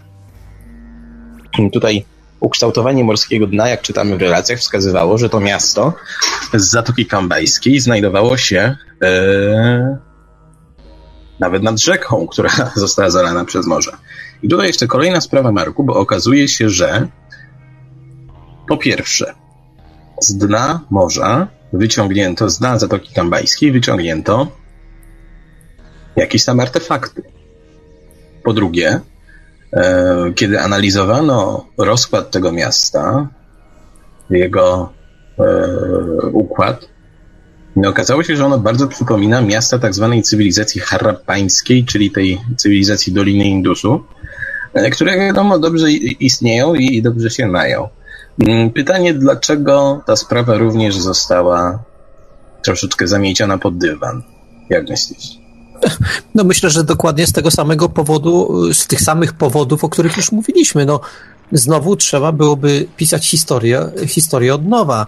W dodatku e, kompleks, o którym mówimy, e, znowu był takim kompleksem, już ta nazwa nie padała, ale znowu był kompleksem mega, bo on rozciągał się na tą rzeką, o której wspomniałeś, na y, dosyć długiej, y, dosyć długiej, y, znaczy rozciągał się na wiele kilometrów. To, to, to, to na kilka kilometrów na pewno, a zatem, a zatem miasto naprawdę, naprawdę spore, nawet, nawet jak na standardy współczesne. W dodatku, w dodatku zaczęto, zaczęto, ponieważ to, o czym wspomniałeś, że ono, e, to miasto swoim układem, swoimi e, charakterystycznymi punktami zaczęło, e, przypominało, przypominało miasta cywilizacji, kultury, która była dobrze znana, to znowu znowu nie pasowało, znowu nie pasowało do ogólnie przyjętego, przyjętego obrazu historii, już nie tej historii e, dotyczącej cywilizacji, ale też historii, powiedzmy, geologicznej. Nie, nie, bardzo sobie wyobrażano, jak to się miało niby stać, że e, gdzieś 20, e, że ląd, który, który leżał który w tej chwili znajduje się 20 kilometrów od wybrzeża, był kiedyś na tyle wysoko, że wystawał, wystawał nad, powierzchnię, nad powierzchnię oceanu, że tam, kwit, że tam kwitło życie. Co więcej, w pewnym momencie pojawiły się, pojawiły się teorie, że to miasto, które odkryto, to była mm, legendarna, legendarna, legendarne miasto Boga Krishny, które y, zaczęło, które zniknęło po tym, jak on opuścił Ziemię. O czym wspomina źródło pisane, czyli Mahabharata, E, a zatem to się zaczęło, zaczęło łączyć pewne, pewne wydarzenia spisane, pewne wydarzenia e, w jakimś stopniu historyczne, zaczęły się wiązać z odkryciami i to właściwie zaczęło nie, pasow- nie pasować, przynajmniej niektórym badaczom. Do tego stopnia zaczęło im to nie pasować, że zaczęli kwestionować konkretne znaleziska. Zaczęto mówić o tym, że wydobywana, wydobywana z podwody ceramika to tak naprawdę nie jest ceramika, tylko e, jakiegoś e, rodzaju naturalne, naturalne kawałki, dzieło natury i tak dalej, i tak dalej. Mm, mówiono też o innych znaleziskach, starano się znajdować takie wyjaśnienie, żeby broń Boże nie okazało się, że gdzieś tam funkcjonowała, funkcjonowała cywilizacja, funkcjonowała, funkcjonowało miasto zamieszkałe przez ludzi. Mm, to mówię, y, trudno mi dociec, bo nie znam na tyle, na tyle e, całej historii, nie, nie jesteśmy tak blisko tej historii, żeby, żeby wejść e, w skórę ludzi, który, którzy ją badali, ale, ale odnoszę, wraże, odnoszę wrażenie, że to znowu jest kolejne miejsce, które nie powinno istnieć. E, kolejne miejsce, które kiedy jest opisywane przez, przez księgi E, religijne, to jest bardzo fajne, bo, bo wtedy mówi coś o kulturze, mówi coś tak w sposób nieokreślony. A kiedy okazuje się, że mówi o, o miejscu konkretnym, e, miejscu, które można dotknąć, no trzeba zejść pod wodę, ale można go dotknąć, to wtedy już komuś, komuś to nie pasuje, bo e, zaczyna być potwierdzeniem historii, które, na które oficjalna, y, oficjalni badacze historii wolą przymykać oczy, wolą o nich nie wiedzieć. Nie było czegoś takiego, nie istniało coś takiego. Um, jeśli, jeśli Krishna opuścił Ziemię, no to to dobrze wygląda w micie, dobrze wygląda w przekazie religijnym, ale przecież nie w przekazie historycznym. I to ta, ten dysonans, który się pojawia, e, e, on jest pogłębiany. To znaczy, z jednej strony są twarde fakty, z drugiej strony jest religia, czy też opowieści, e, że tak sobie zrymuje różnej treści, ale na pewno są nieprawdziwe. Natomiast wszyscy ci, którzy usiłują uwiarygodnić pewne wydarzenia opisane przez takie księgi jak Mahabharata, no ci są, ci są z góry skazani na taki naukowy ostracyzm. I to myślę jest próba zbliżenia się do tego, e, dlaczego odkrycia tego rodzaju e, są dezawuowane, no tak to określmy bardzo delikatnie, przez oficjalną naukę. Dziękuję. W przypadku tych ruin z Zatoki Kambajskiej ważne są do odnotowania dwie rzeczy, a nawet trzy rzeczy. Pierwsza to fakt, że z tych y, wszystkich, o których będziemy dzisiaj mówić, one zostały chyba najlepiej zbadane i to nie przez y, tam jedną grupę naukowców, ale przez kilka, dlatego że zajmowali się tym i archeolodzy, i geolodzy i tak dalej. Um, oczywiście te ich, ich nazwiska nam niewiele powiedzą. To są przedstawiciele ministerstw indyjskich oraz tamtejsi, tamtejsi uczeni. Druga sprawa to mm, fakt, że możemy sobie zobaczyć rzeczywiście dość, e, dość łatwo znaleźć te rzekome artefakty oraz pozostałości, powiedzmy, materiałów budowlanych oraz kości z, z Zatoki Kambajskiej. I tam się pojawia rzeczywiście taka ciekawa dyskusja, bo to, co dla jednych jest na przykład kawałkiem garnka, jakimś e, elementem, fragmentem ceramiki, dla innych jest na przykład jakimś tam śmieciem ze statku, E, albo czymś, co znalazło się w wodzie w jakiś tam bliżej nieokreślony sposób i nie jest na pewno dowodem na to, że, że, że tam mamy zatopione miasto. E, trzecia sprawa jest tworem to, naturalnym. Tak. Trzecia sprawa to mm, to porównanie do, do, do, do miast cywilizacji, tak, tak zwanej cywilizacji harappańskiej, czyli Mohenjo-Daro Harappa, myśmy o nich mówili już nieraz w debatach, z nimi wiążą, wiążą się tam osobne kontrowersje, natomiast e, tu to rzekome miasto z Zatoki Kambajskiej, która przynależy do Morza Arabskiego, chociaż podobne swoim układem, no musiałoby być dwa razy starsze od nich. Bo skoro rzeczywiście na podstawie tego, jak zmieniał się poziom Morza Arabskiego, oszacowano, że ono musiało powstać przynajmniej tam 9 tysięcy lat temu, albo zatonąć 9 tysięcy lat temu, no to te Mohenjo-Daro, Harappa liczą sobie chyba połowę mniej więcej tego, tego, tego wieku. No, to już jest jedna kontrowersja. Ale Marku, najciekawsze, co, co najbardziej oryginalna rzecz, z jaką się spotkałem w sprawie e, znaleźli z Zatoki Kambajskiej, to jest taka mm, historia często powtarzana przez naukowców zachodnich, którzy mówią tak, a ci Hindusi to oni zawsze tak, oni tylko chcą tymi odkryciami swoimi trochę się połechtać i chcą y, się wywyższyć, bo to oni tą historią to manipulują, zmieniają. Mm. Tak, drodzy Państwo, taki jest argument na, na, na temat wszelkich dziwnych odkryć w tamtym, w tamtym rejonie. Y, spotykamy go na przykład y, w sprawie y, zakazanej archeologii Michaela Cremo. Michael Cremo, o czym wielu pewnie nie wie, jest hinduistą E, chociaż oczywiście nie jest hindusem, ale jest hinduistą. E, I jednym z zarzutów wobec jego książki Zakazana archeologia było to, że on prezentuje tak zwany kreacjonizm wedyjski, który mówi, że e, znaczy odnośnie naszej historii, tak, który mówi, że cywilizacje ulegały takiemu charakterystycznemu obumieraniu i pojawianiu się. W hinduizmie, w, w, E, wyszczególniony jest element przemijania, tak? Cykliczności i koncepcja ta historii mm, według e, Kremo i według innych kreacjonistów wedyjskich mówi, że e, my nie jesteśmy pierwszą cywilizacją, nie ostatnią i pewnie pojawią się nowe, a przed nami było ich wiele. Stąd te wszystkie dziwne odkrycia.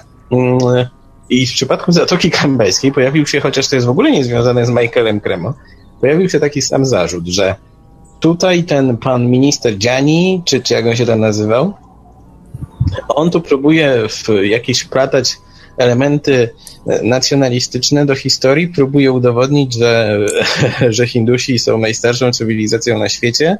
O nie, my poważni naukowcy z Europy to my się tak bawić nie będziemy. No i sprawa umarła w zasadzie śmiercią naturalną. Na, na, na dziś nikt nie jest w stanie powiedzieć, co tam jest pod wodami tej E, Zatoki Kambajskiej, bo ta historia w ogóle bardzo odstaje od innych zatopionych miast z regionu. Przecież e, chyba takim najsłynniejszym miastem, które wiemy, że istniało, chociaż zostało zalane wodami, jest Marku, słynna Dwarka lub Waraka, prawda? E, tutaj dokonano bardzo, bardzo ciekawych e, odkryć e, z nią związanych. E, dzisiejsza Dwarka, mm, ona oczywiście leży dość daleko od, od Zatoki Kambajskiej. Natomiast tam też jest taka historia, która mówi, że e, obok Dwarki e, leży zatopione miasto, co jest prawdą, tak? Rzeczywiście leży.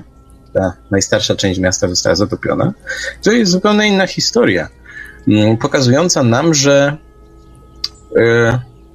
że ten temat, o którym dzisiaj mówimy, ma bardzo wiele twarzy nie możemy porównywać Dwarki do tego czegoś z Zatoki Kambajskiej, prawda? No to prawda, z tym, że, z tym, że no to właśnie o tym, o, o tym, y, o tym wspominałem, o, o, tym, y, o, y, tą Dwarką, czyli, czyli miastem Boga Krishny. No, próbowano, próbowano, tak to, próbowano tak to utożsamiać. Ja powiem tak, bardzo trudno jest nam, bardzo trudno jest nam ziarno od plew, ponieważ no, nie jesteśmy w stanie e, wypowiadać, wypowiadać się, czy też poznać całej, e, całej historii, całej różnych kultur. E, w związku z tym skaza, skazani jesteśmy na przekazy. E, różnego rodzaju przekazy i mają to do siebie, że już sam fakt ich zaistnienia skazuje nas na pewną interpretację. To znaczy, nie, nie wyzbędziemy się tego, że w dzisiejszym świecie informacja mm, w postaci czystej właściwie nie istnieje. Za każdym razem, kiedy czytamy jakąś, jakąś wiadomość, docieramy do, jakiejś, do jakiegoś przekazu, on jest w jakiś sposób naznaczony. I tu doskonale o tym powiedziałeś e, w przypadku, w przypadku Indii. Mm, no już niejako na początku, na wejściu sprzedaje się, sprzedaje się informację, że ci Hindusi coś kombinują, że mm, być może to miasto, które odkryte, oni kombinują właśnie w ten sposób, że to być może jest miasto, miasto Boga Krishny, a wcale nie jest, bo to miasto to jest tak naprawdę legenda, a naprawdę to, to wcale w ogóle miasto nie jest i tak dalej, i tak dalej. Znaczy ja y, w ten nieco, nieco skomplikowany, czy może niezbyt przejrzysty sposób staram się powiedzieć, y, powiedzieć o tym, że obojętnie, czy będziemy mówić o, e, o, o miastach odkrytych gdzieś, gdzieś w pobliżu Indii, czy o miastach, o których mówiliśmy wcześniej, czy będziemy mówić za chwilę, to za każdym razem skazani jesteśmy na przekaz wzajemnie się znoszący. Z jednej strony są entuzjaści, którzy, którzy mówią nam, że coś odkryli, coś, coś niepowtarzalnego, wspaniałego, coś, co e, jeszcze nie, jakby, co przewróci historię świata. Z drugiej strony są e, tycy, e, czerpiący tę pewność nie z tego, że przebadali daną, e, daną strukturę, że e, są w stanie coś e, więcej o niej powiedzieć, pewni raczej swoją pewność czerpią raczej z tego, że oni po prostu wiedzą, jak wyglądała historia. Już samo to, co mówię w tej chwili, świadczy o tym, że no nie można na tym, na tym budować czegokolwiek. Poza takim, taką stagnacją, takim przekonaniem, że e, historia e, już kiedyś raz została spisana i nikt spisywać jej na nowo nie będzie, bo nie ma takiej potrzeby, bo nic rewolucyjnego się e, w historii świata nie pojawia. To te wszystkie, te wszystkie rzeczy, o których my tu w tej chwili opowiadamy, to są jakieś tam struktury podwodne, jakieś tam rzeczy do zaniedbania, o których nie ma właściwie, nie ma o nich, nie ma potrzeby o nich rozmawiać, bo one nic nie zmieniają. Y, I to zderzenie y, z jednej strony entuzjazmu przewracającego wszystko, czyli mówiącego o tym, że napiszmy historię od nowa, to powtarzam po raz kolejny dzisiaj, i tego, tego, tej stagnacji powoduje, że my za każdym razem, kiedy będziemy rozmawiać na takie tematy, skazani jesteśmy na szum informacyjny. My dzisiaj e, e, możemy wśród naszych słuchaczy zyskać taką samą liczbę mm, e, entuzjastów tego, o czym mówimy, jak i sceptyków. Znaczy, pewno entuzjastów będzie więcej, bo taka jest specyfika radia, radia w, w którym rozmawiamy, ale gdyby tego posłuchał ktoś z zewnątrz, to, to naprawdę zebrałby całą grupę y, ludzi, która by twierdziła, że oto Piotr Cielebiaś i Marek Żelkowski rozmawiają o rzeczach niestworzonych. Po prostu to są, to są bzdury, to są bzdury, o których w ogóle nie opłaca się mówić, po co zajmować tyle, po co zajmować tyle czasu, e, po co zajmować tyle, e, ty, ty, tyle internetu, zajmować na tego rodzaju tematy.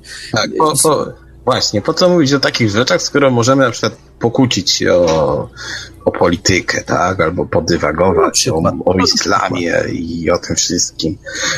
Ja myślę jednak, że im więcej mówi się o rzeczach innych niż te, które zaprzątają na co dzień internety, tym zdroższe staje się społeczeństwo. Ale Marku, zobacz też bardzo ciekawą rzecz, która osobiście mnie irytuje. Nie jesteśmy w stanie powiedzieć, e, w przypadku chociażby tych ruin z Zatoki Kambajskiej, no nie mówię już o mega, E, bo ta historia już tam żyje swoim życiem, ale e, w przypadku ruin Zatoki Kębajskiej mieliśmy do czynienia z badaniami naukowymi i dziwi mnie to, że nikt z tych, którzy to badali, każdy wykonał swoją robotę, wydał swoją opinię, ale nikt nie pokusił się o udzielenie ostatecznej odpowiedzi. To jest zmorą nauki, bo kiedy zajrzymy na inne pola, to w każdej dziedzinie E, mamy mnóstwo teorii. Tak naprawdę nasza wiedza na temat świata, ona opiera się na pewnych przekonaniach, że coś jest prawdziwe. Natomiast każdej teorii, każdej hipotezie towarzyszy 15 innych kontrhipotez, które czasami są mniej znane, czasami są w ogóle nieznane, ale tylko jedna, jak ten szczęśliwy plemnik, miała e, takie szczęście, że trafiła do podręczników szkolnych i większość ludzi e, uważa, że to prawda. E, dziwi mnie to, że nikt nie potrafi udzielić ostatecznej odpowiedzi, powiedzieć tak, to są ruiny, nie, to na pewno nie są ruiny. I to się potem zostawia. I z tego rodzą się mity, na które ci naukowcy profesjonalni się tak bardzo złoszczą, tak? Oni najpierw nie udzielają żadnej odpowiedzi, albo udzielają jej w taki sposób, wiesz, jak dla profanów, tak? Rzucają trzema hasłami, a wy się reszty domyślcie, a potem, potem się denerwują, że mm, powstają mity i głupoty. Tak jest w przypadku na przykład Imperium Lechickiego. Yy, ja już na samym początku yy, apelowałem do kilku historyków, nie będę wymieniał ich nazwisk, ale to są bardzo znane osoby, Mm, z kilkoma miałem do czynienia na studiach. Mm, pokazywałem im ten, ten materiał na temat Imperium Lechickiego zaraz jak to się rodziło i mówię, może by pani pan pani udzieliła jakiegoś komentarza. Nie, tam po to, że to głupoty są, to nie, to wiadomo, że tak nie było. I zobaczmy, co się rozwinęło. Polska nauka w ogóle nie zareagowała na narodziny mitu Olechi. A to jest tak, to jest najbardziej widoczny przykład. Okazuje się, że grupa ludzi, którzy nie mieli o niczym pojęcia, E, którzy nigdy nie przeczytali żadnej książki o Słowianach, nagle zakupiła książkę Bieżka i tak się dowartościowała tym, że jest przedstawicielem starożytnego ludu, że ten, ten mit zaczęła powielać i ta, ta zaraza się rozeszła po internecie. Z tym jest strasznie trudno walczyć. Historycy nie zareagowali w ogóle na początku. Potem oczywiście, tak, wszyscy, nawet te Newsweeki i wszystkie inne zaczęły walczyć z mitem Lechi, ale to jest za późno mleko się wylało, kompot się wylał. I tak samo jest w przypadku mm, tych miejsc, o których dzisiaj mówimy. No tak, bo w takim przypadku trzeba zawsze zająć stanowisko. Trzeba powiedzieć twardo, jest tak, tak, a to nie, nie. I y, niektórym naukowcom bardzo ciężko to przychodzi. Niektórzy z tego powodu, o którym powiedziałeś, że oni nie, przecież nie będą dyskutować z głupotami. E, drudzy z tego powodu, że y, mają jakieś wątpliwości, ale nie chcą wychodzić przed, przed szereg. I to jest niestety, to jest niestety rak trawiący, trawiący naukę. E, o tym nieraz już na antenie, na antenie Radia Paranormalium mówiono. E, ja odwołam się do pewnej lektury. W swoim czasie przeczytałem wspomnienia E, fizyka, e, fizyka zajmującego się e, wielowymiarowym wszechświatem, który przedstawił stosunki, które panują w jednym z brytyjskich, z brytyjskich, z jednej z bardzo znanych brytyjskich szkół wyższych. I to są stosunki, które mają naturę feudalną. My się bardzo często jakby dobijamy tym, że polska nauka ma strukturę feudalną. Proszę mi wierzyć, że przynajmniej w przypadku y, brytyjskim y, jest dokładnie tak samo. E, są bardzo ważni e, profesorowie, którzy rozdają karty i są nieco mniej ważni pracownicy nauki, którzy albo idą z głównym nurtem, tego konsekwencje tego, że nie idą. Y, to się może skończyć albo dobrze, albo źle. To już jest rzucenie wszystkiego na jedną, y, na, jakby postawienie na jedną kartę. Y, kiedy, natomiast kiedy człowiek podąża z głównym nurtem, to ma pewność, że zrobi karierę. Niestety natura ludzka jest taka, że, że bardzo często człowiek mówi, a tam pierdzielić prawdę. Ważne jest to, że będę miał za co żyć, i do końca, a w dodatku do końca, do końca swoich dni będę miał święty spokój. Ci naukowcy y, może nie wybierają prawdy, ale za to wybierają święty spokój. Są oczywiście tacy, którzy nie godzą się na tego rodzaju zgniłe kompromisy, ale ci kończą bardzo różnie. Są tacy, którzy y, w wyniku tego, że y, zakwestionowali układ, układ feudalny, o którym powiedziałem, właściwie do końca życia klepią biedę, a w każdym razie nie odnoszą sukcesów. No, z jednej strony klepią biedę, a z drugiej strony e, nie realizują się naukowo. Nie, nie ma takiej możliwości, żeby się realizowali naukowo. I to jest właściwie przegrane życie, a życie przynajmniej według większości twierdzeń mamy jedno, w związku z czym nie wszyscy stawiają, stawiają e, na jedną kartę. E, Istnieje oczywiście szansa, że ktoś, kto przeciwstawi się establishmentowi i powie nie, ja się nie zgadzam na tego rodzaju, na tego rodzaju działania, wygra. Ale to się zdarza niesłychanie rzadko. E, i to jest mniej więcej krótkie, to było krótkie streszczenie tego, co wyczytałem we wspomnieniach znanego fizyka, ale wbrew pozorom, to, że mówiłem o fizyku, to wcale nie świadczy o tym, że podobnie nie, rzecz, się nie, rzecz, się, rzecz się nie odbywa w innych dziedzinach nauki. Historia, archeologia, to są również te dziedziny, w, której, w której króluje, w których króluje konserwatyzm. Wystarczy popatrzeć na badania nad e, starożytnym Egiptem. Tam yy, nie zadaje się pytań oczywistych. Pytań, które e, właściwie powinien, właściwie każdy ze słuchaczy naszego, naszej dzisiejszej audycji czy innych audycji Radia Paranormalium zada niejako na wejściu. Ale kiedy je zada, zostanie zignorowany, ponieważ wielcy naukowcy zajmujący się starożytnym Egiptem na takie pytania nie odpowiadają. I za cholerę nie wiadomo właściwie, dlaczego nie odpowiadają na, na te pytania. I rzecz się odbywa w, w, sferze milczenia. Po prostu pewne tematy zamilcza się na śmierć. Ja odnoszę wrażenie, że temat, który dzisiaj poruszamy, czyli te podwodne miasta, znaczy nie podwodne, miasta zatopione, y, cywilizacje zatopione, to jest jeden z takich tematów, które Y, w bardzo wielu przypadkach usiłuje się zamilczeć, zamilczeć na śmierć. Po prostu nie pisze się o tym w publikacjach naukowych, nie porusza się, y, nie, nie pisze się artykułów, nie pisze się książek, a w świecie naukowym, jeśli się nie publikuje, to tego po prostu nie ma. To jest jakaś, jakiś szum w internecie, ale to nie jest publikacja naukowa. Nie bez przyczyny yy, w, w świadku naukowym yy, i anglosaskim, ale nie tylko, funkcjonuje zasada publikuj albo gin. No i to myślę jest jeden z kluczy do tego, do tego problemu, który, o którym dzisiaj mówimy. Dziękuję.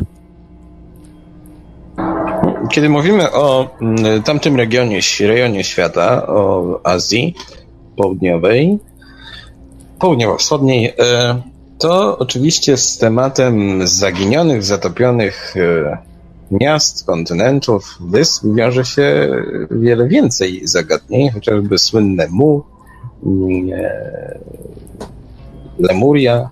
Lemuria to szczególnie ciekawy temat, chociaż dzisiaj nie mówimy o zatopionych kontynentach. Otóż ta azjatycka Atlantyda miała rozciągać się na południe właśnie od Indii. No, nikt nie wie, gdzie na pewno, ale Lemuria mm, to nie tylko mm, ta słynna teoria Heleny Bławackiej, ale też bardzo popularna hipoteza jeszcze kilkadziesiąt lat temu, mówiąca o tym, że istnieje dość duży związek między fauną Madagaskaru i Półwyspu Indyjskiego, co sugeruje z kolei, że musiał istnieć kiedyś wielki most lądowy łączący te dwa, dwa rejony świata. Zdaniem Bławackiej, która żyła oczywiście w XIX wieku, dużo wcześniej niż powstały tego, te, tego rodzaju teorie. Lemuria była miejscem, gdzie narodziła się cywilizacja. To był kontynent, który zatonął, zniknął pod wodą. No i tak naprawdę z Lemurii do naszych czasów e, nie zachowało się nic. Nie zachowało się też nic z jej, z jej e, powiedzmy, sławy, dlatego że ta teoria została obalona, stwierdzono, że tam nic nie ma, nic takiego nigdy nie istniało i to wszystko była mrzonka. Co ciekawe, w ciągu pięciu ostatnich lat pojawiały się informacje o tym, że że ta Lemuria jednak istniała. Oczywiście nie nazwano ją, nie nazwano tego, tego, tego kontynentu Lemuria, natomiast y, analizy geologiczne prowadzone y, na wschodnim wybrzeżu Afryki pokazały, że najprawdopodobniej, znaczy w tamtym rejonie, najprawdopodobniej taki, taki ląd istniał kiedyś rzeczywiście, ale było to bardzo dawno, oczywiście w czasach powiedzmy sobie szczerze przedhistorycznych. No i kolejny raz dowiadujemy się, że te wszelkiego rodzaju dziwne teorie, czasami uważane za, za zupełnie odlotowe, kryją w sobie jakieś ziarenko, ziarenko prawdy. Ale jeżeli jesteśmy w Azji, Marku, to mm, istnieje tam miejsce, które e, jest chyba najbardziej znanym, e, znaną, zatopioną strukturą. Nie możemy tego nazwać miastem, nie możemy tego nazwać e, piramidą, ale możemy to nazwać chyba świątynią. Yonaguni. Mm, co o nim wiemy? Wiemy, że leży w pobliżu najdalej wysuniętej na zachód wyspy japońskiej o, tym, o, tej, o tej właśnie nazwie. I tam chyba w latach 70. nurkowie po raz pierwszy odkryli coś, co wygląda tak naprawdę jak skała, w której ktoś przed wieloma laty wykuł sobie, no właśnie, co, Marku? No, nazwano to, nazwano to najstarszym budynkiem świata. A początkowo oceniono to e, jego wiek na 8, e, 10 tysięcy lat. E, później, później troszeczkę próbowano, próbowano to weryfikować, ale w gruncie rzeczy tak naprawdę wiele tego, wiele tego nie przesunięto. To przypomina taki, to właściwie no, zigurat, zigu, z którym mamy do czynienia na bliski, z którym, które pojawiały się na Bliskim, na bliskim Wschodzie. W dodatku, y, w dodatku mamy tam, mamy tam do czynienia, znaczy porównywano tę strukturę do budynków Ameryki Południowej. Także, także jeśli, jeśli jeśli chodzi, jeśli chodzi o tę strukturę, o tę strukturę to, to, to mniej więcej, o jej wygląd przynajmniej, to mniej więcej tyle. Natomiast tu znowu, znowu e, ważna, ważna uwaga, która, e, która wiąże się ze środowiskiem naukowym. Otóż Znowu, znowu e, mów, e, naukowcy głównego nurtu, no tak to chyba określmy, e, twierdzą, przynajmniej niektórzy z nich, e, że to nie jest żadna budowla, ale e, struktura naturalna, uformowana, uformowana przez, e, przez, siły, natu, przez siły natury, która która, która, powstała samo, która powstała samoistnie i nie ma nic wspólnego z, jakąś, z jakąkolwiek tajemnicą. że nie jest żadną strukturą uformowaną przez nieznany lud, czy, czy jakieś tam, jakieś tam e, w celach kultowych. Czy, nie, nic, nic, takiego, nic takiego. Wręcz przeciwnie, to po prostu, to po prostu kawałek, kawałek kamienia. I i znowu, to co, o czym mówiłem y, przy, osta przy ostatnim y, wejściu, e, znowu jesteśmy skazani na przekazy wzajemnie sobie przeczące, bo znowu e, docieramy do informacji, docieramy do informacji, że gdzieś tam e, odkryto jakieś rzeźby, jakieś twarze, jakieś gniazda, że w sąsiedztwie monumentu miały się zachować jakieś struktury przypominające filary i tak dalej, i tak dalej to, to znowu jest przekaz, jest przekaz y, słabo udokumentowany y, y, w sposób, słabo udokumentowany ikonograficznie, a zatem, a zatem no, skazani jesteśmy jednak na rodzaj, na rodzaj wiary. Z drugiej strony przypomina się to, o czym powiedziałeś, czyli te wszystkie doniesienia o, o zatopionych kontynentach, o, czy to o, Lem, o, Lemurii, czy o Mu, czy, czy, czy w ogóle o, o, wszystkich, o, o wszystkich tych przekazach, z którymi, z którymi się stykamy. I naturalną rzeczą dla ludzi, którzy, których e, ten temat fascynuje, których, e, którzy sporo wiedzą na ten temat, to jest naturalne takie zastrzyżenie uchem i mówienie sobie: O, być może to jest ślad tego, co nas tak bardzo interesuje. Mm, I, i znowu, no, trudno jest, trudno jest powiedzieć coś na ten temat. I znowu, zadziwiające jest przecież to, że ten monument, e, to, tę strukturę, o której w tej chwili, w tej chwili mówimy, e, ona jest znana od kilkudziesięciu lat. A zatem 50 lat e, to naprawdę można przebadać, przebadać dogłębnie różnego rodzaju, różnego rodzaju wielkie struktury. E, przez e, kilkadziesiąt lat można, nie wiem, e, można dokonać skoku technologicznego. Tymczasem my tak naprawdę cały czas poruszamy się w w takim obszarze niedopowiedzeń. Coś wiemy, czegoś nie wiemy, może to była struktura, może to było, może to był kamień, może to był zikurat, może to było, może to była część miasta, może to było, może to było coś, co, co było częścią jakiejś większej struktury i tak dalej, i tak dalej. Właściwie powtarzamy, powtarzamy to samo od jakiegoś czasu, bo, bo, bo, o, tym, bo o tym monumencie mówi się, tak jak powiedziałem, od kilkudziesięciu lat, ale mówi się niewiele więcej. My właściwie jesteśmy skazani na powtarzanie ciągle tego samego. To mnie dziwi, tak naprawdę. To mnie najbardziej dziwi. No właśnie. Jonaguni jest i jest sobie. I w zasadzie to koniec. Tym monumentem od samego początku zajmował się y, profesor Masaki Kimura. Y, I on początkowo był y, zwolennikiem takich hipotez bardzo, powiedzmy, związanych z zakazaną archeologią. Twierdził wprost, że może to mieć związek z tymi słynnymi zatopionymi kontynentami, z Lemurią, z leżącym raczej w tamtym rejonie świata Mu. I rzeczywiście z biegiem czasu zgromadził sporo dowodów. Jeżeli się przyjrzymy Jonaguni, to w zasadzie chyba nie ma, nie ma takich y, większych wątpliwości, że jednak y, no, twór naturalny to nie jest. Znaczy, sama skała, jak wiadomo, jest naturalnym tworem. Nie jest to na pewno budowla, tak jak twierdzą niektórzy.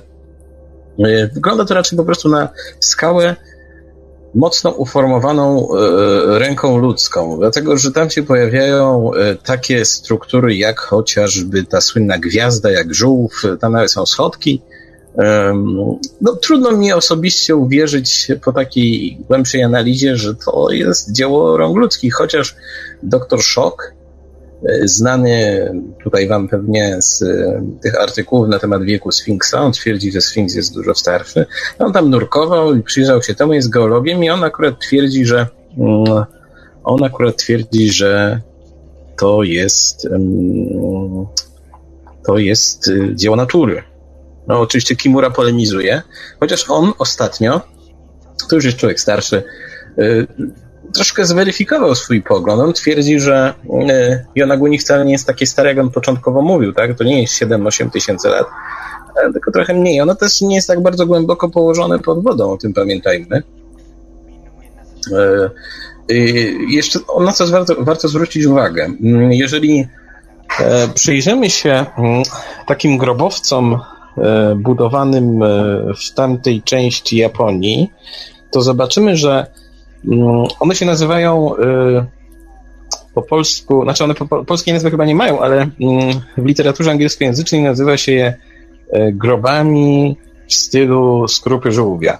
I one rzeczywiście noszą takie ogólne podobieństwo do żółwiej skrupy. Kiedy się przyjrzymy im, to zobaczymy, że to Yonaguni troszeczkę jest podobne. Tak jakby jest tam podobny zamysł. Nie jestem w stanie ocenić, czy, czy, czy, czy, czy jest między tym jakiś związek oczywiście, ale wydaje się, że tak. Innymi słowy, e, chociaż istnieje duża, roz, duża odległość czasowa między twórcami tych, e, tych grobów i Onaguni, no to prawdopodobnie tutaj też mamy do czynienia z dziełem rąk ludzkich i po raz kolejny mamy do czynienia z sytuacją, która e, pokazuje nam pewną patową sytuację. Otóż mamy ogromny przecież, ogromną skałę, w której ktoś prawdopodobnie dłubał, e, ale finalnie odpowiedzi brak, tak? Oprócz tego, oprócz tego starego Japończyka, który się tym zajmował, jakoś tam nikomu nie przychodzi do głowy, żeby udzielać odpowiedzi e, na to pytanie. No, chyba przełomem byłoby to, gdyby ktoś tam odkrył jakieś graffiti, wiecie, na tym Yonaguni, napis zrobiłem to ja i tak dalej. Wtedy mielibyśmy chyba koniec dyskusji. A na razie kolejna patowa sytuacja, chociaż dużo E, dużo bardziej komfortowa niż w przypadku chociażby drogi Bimini. E, no ale niestety w opinii o, o, o Jonaguni musicie sobie wyrobić sami na podstawie tej wizualnej analizy, gdyż tak naprawdę nauka po raz kolejny nie jest nam w stanie tej odpowiedzi udzielić. Z dalekiej Azji przenosimy się, Marku, do Europy, konkretnie mówiąc do Bałtyku. Bałtyk, o czym nie wszyscy wiedzą, y, także ma kryć w sobie pewne y, zatopione miejsca. Mówiliśmy już o, mm, o tym Doggerlandzie, y, który też jest bardzo ciekawym, ciekawym zagadnieniem, ciekawym tematem. Wiemy, że w Europie były też inne miejsca, które w jakiś dziwny sposób uległy mm, zatopieniu. Chodzi przede wszystkim o, o Morze Śródziemne. E, ale Bałtyk jest znany szczególnie z dwóch rzeczy. Pierwsza to Wineta, czyli to legendarne miasto bałtycka Atlantyda, e, zdaniem wielu kronikarzy, podróżników wczesne, żyjących w średniowieczu, miejsce, miasto wielkie, ogromne, zamieszkiwane przez Słowian, Greków i inne, inne ludy, miasto handlowe, które również zostało zniszczone i być może nawet leży gdzieś teraz pod powierzchnią wody. Marku, jak, jak oceniasz sprawę bałtyckiej Atlantydy? Myślę, że powiem tak, że e, ja jestem e, człowiekiem, który, który dobrze pamięta e, opowieści dzieciństwa i po raz pierwszy zetknąłem się z legendą o, o Winecie gdzieś jako kilkulatek, któremu babcia czyta, czytała bajki. I tam po raz pierwszy z tą nazwą i, i, i z tą historią się zetknąłem. A zatem ja nie wiem, czy jestem najlepszą osobą, e, najlepiej, e, czy jestem w stanie wyrwać się, oderwać się od, od tego, od, od wspomnień dzieciństwa i od, od tego, tego co, e, co wiem, bardziej czuję niż wiem. Ale bardzo wiele, bardzo wiele faktów wskazuje, że znowu to, co wiemy o historii Morza Bałtyckiego, to jest e, e, jak daleko sięgniemy, sięgniemy w historię, to to wiemy stosunkowo niewiele, a właściwie wiemy tyle, ile chciano, żebyśmy wiedzieli. To znowu jest ten, ten, ten sam przykład, e, ten sam przykład tego, że wiedza jest nam w jakiś stop, stopniu dozowana. Okazuje się przecież, że to, co wiedzieliśmy na przykład o, o o najeźdźcach, o najeźdźcach z północy, czyli o wikingach, troszeczkę inaczej zaczyna wyglądać, kiedy, kiedy przyjrzeć się temu bliżej. A ja już pomijam te historie wszystkie, że być może w ogóle nasze państwo gdzieś tam korzeniami sięga, sięga do, do najazdów wikingów, że być może stąd się wzięła dynastia i tak dalej, i tak dalej. Ja tego nie chcę w tej chwili poruszać, ale okazuje się, że my o ruchach, e, ruchach poszczególnych ludów w obrębie basenu Morza e, Bałtyckiego wiemy stosunkowo niewiele, albo wiemy znowu tyle, ile chciano nam przekazać. Czasami, czasami się okazuje, że pewne migracje, pewne kierunki, pewne kierunki, w których poruszały się te ludy, y, są zaskakujące, nawet dla, dla historyków. A wracając do Winety, y, Odpowiem w ten sposób. A dlaczego nie? Co więcej, e, coraz częściej mówi się o tym, że gdzieś tu u wybrzeży, gdzieś tu u wybrzeży e, Polski e, w w, tak, w, zachodni, w, w, północnej, w północno-zachodniej części, przy, przy, przy naszych pół, przy północnej części naszego wybrzeża, nie północnej, przepraszam, przy zachodniej części naszego wybrzeża, gdzieś tego rodzaju ślady, co i róż, mówi się o tym, że gdzieś tam jakieś e, ślady, do jakichś śladów się dociera. Mówi się o tym, że ktoś tam gdzieś kiedyś coś wyciągnął, obserwował i tak dalej. E, ale znowu skazani jesteśmy, nie mamy, nie ma znowu twardych, twardych dowodów na to, że, że, ta, że, ta historia jest, że ta historia jest prawdziwa. Ja przynajmniej takich, y, takich opowieści nie znam. Sam fakt tego, że y, historia w Inecie przejawia się, y, pojawia się tak często, nie jest żadnym dowodem, bo, bo powiedzmy coś e, powtarza, jeżeli coś jest powtarzane bardzo często w wielu miejscach, e, zagnieżdża się w kulturze i już wtedy, wtedy ciężko jest oddzielić opowieść pełną fikcję od tego, co było naprawdę.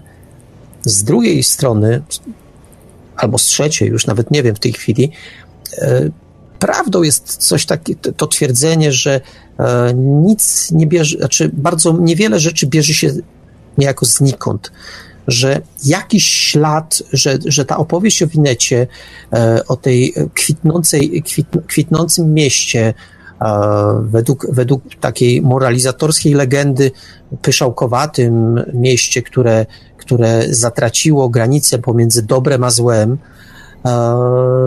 to może być jakąś podstawę historyczną, ale mm, dopóki nie odkryjemy, nie odkryjemy śladów tego miasta, tak jak w przypadku tych, tych miast czy tych struktur, o których mówiliśmy wcześniej, no to ciężko, ciężko jest o tym, o tym dyskutować tak, tak na poważnie. Rozważać bardzo miło, ale, ale raczej bym poczekał na to, jak jakieś takie struktury znajdziemy konkretne. Tak, no, y, Wineta to bardzo ciekawy temat mimo wszystko, dlatego że mm, pokazuje nam y, wielokulturowość tego regionu. No tak, tak. Regionu Polski, dzisiejszej Polski, ale też powiedzmy sobie szczerze, że y, te relacje pochodziły od głównie od tutaj ludzi, którzy niekoniecznie tam byli.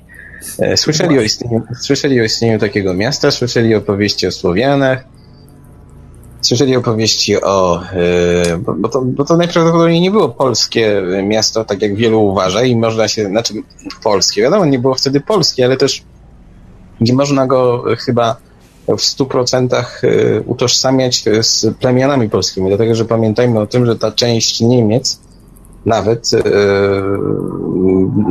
dawne NRD w dużej części to były kiedyś rejony zamieszkane przez Słowian Połapskich. Do dzisiaj tam została maluśka ilość. Zostali wytrzebieni dosłownie przez Niemców.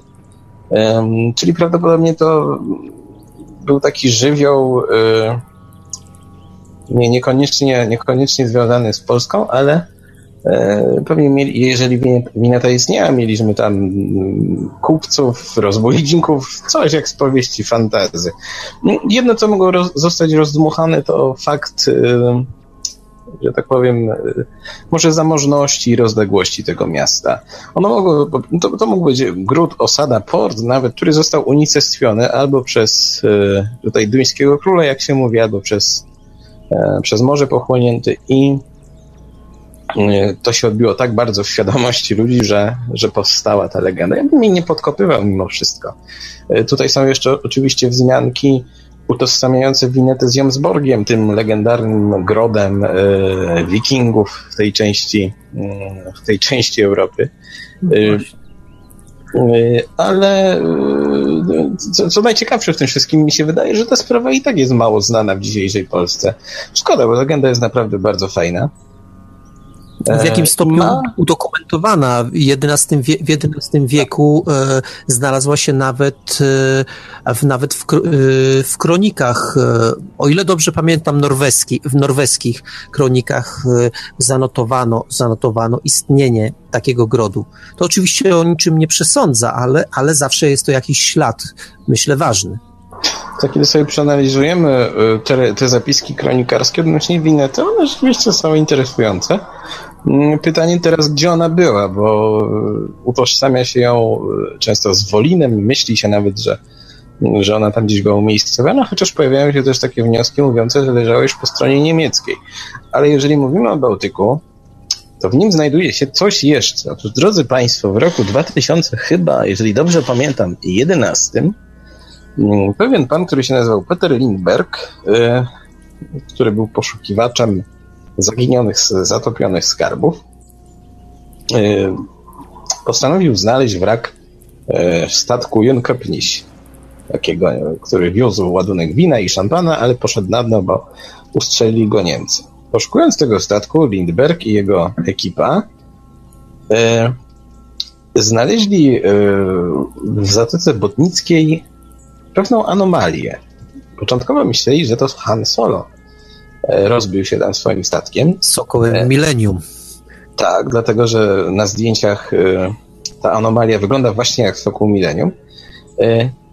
Ale kiedy ją badano, to okazało się, że to jest bardzo, bardzo podejrzane. Z dna morskiego wystaje takie coś, co przypomina Marku latający talerz. I ta sprawa też wkrótce zaczęła, zaczęła żyć własnym życiem, prawda?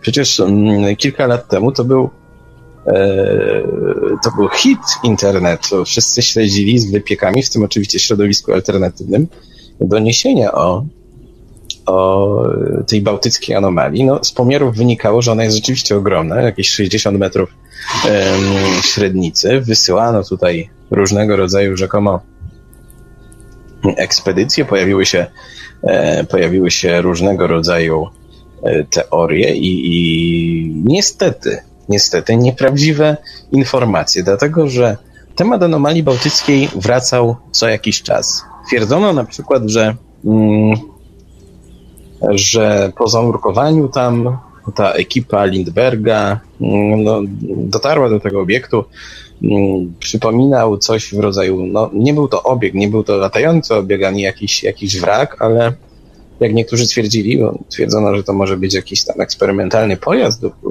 coś takiego. E, oni twierdzili, że to było raczej e, takie coś jak lawa, wyglądało jak zastygła lawa. No i że od tego ciągnie się po ziemi długi pas wskazujący, że to coś tam spadło. E, no i od tego czasu w sieci pojawiły się zdjęcia przedstawiające tą anomalię. E, no i w zasadzie co dalej, Marku? Co sądzisz o tej, o tej dziwnej sprawie? Bo ona tutaj mm, mimo wszystko rozeszła się po świecie szerokim, szerokim głośnym echem. Jest to sprawa intrygująca, ale czy przyszłościowa? Czy ona rokuje? Czy mamy tu do czynienia tylko z internetową legendą? No, mm, znowu jesteśmy, znowu jesteśmy skazani na, na domysły. E, tak na mojego nosa to chyba jednak tak, że jesteśmy, jesteśmy to, to, jest jednak rodzaj, to jest jednak rodzaj legendy. Ja mam na to, na to taki przewrotny dowód. Yy, dlatego przewrotny, że o ile w przypadku yy, struktur, o których mówiliśmy wcześniej, materiał ikonograficzny jest stosunkowo nikły. Naprawdę trudno znaleźć jest y, dobre ilustracje do, do do tych obiektów, o których mówiliśmy wcześniej. O tyle w przypadku tego obiektu, nazwijmy go tym sokołem milenium, e, to materiał ikonograficzny jest bogaty. I to już budzi przynajmniej moje, moje podejrzenia. No być może, być może, mm, być może podejrzliwość i, i, i um, wpędza, człowieka, wpędza człowieka jednak w rodzaj paranoi. W takim razie jestem ofiarą tego właśnie zjawiska ale y, dla mnie to, że y, tych ilustracji, tych, tych, tych, tych zdjęć pokazujących ową strukturę jest tak dużo, są nawet y, filmy, jakieś rekonstrukcje i tak dalej, to jest dla mnie e, e, tak, rodzaj takiego właśnie przewrotnego dowodu, że mamy do czynienia mm, e, z odwróceniem jednak uwagi i pokazaniem nam, o patrzcie, tu jest coś, a później wam pokażemy, że to jest nic, że to jest jakaś, jakaś struktura, struktura naturalna. Być może się mylę, no tak jak powtarzam, przy stosunkowo nierozbudowanych informacjach, no, skazani jesteśmy na błędy. Być może ja właśnie w taki błąd niniejszym popadam. Ja tutaj, e, kiedy ta sprawa mm, była tak, w, tak powiem, w, rozchwytywana, roz, rozpalana są wyobraźni, to się skontaktowałem z ufologami z tej szwedzkiej grupy UFO Sferige, i zadałem takie proste pytanie. Co o tym sądzicie? Czy są jakieś dowody na ten temat? I otrzymałem bardzo szczero i szybko odpowiedź nie. To znaczy, mm, ja starałem się ich zapytać, co w Szwecji media o tym mówią i czy to są wiarygodne osoby.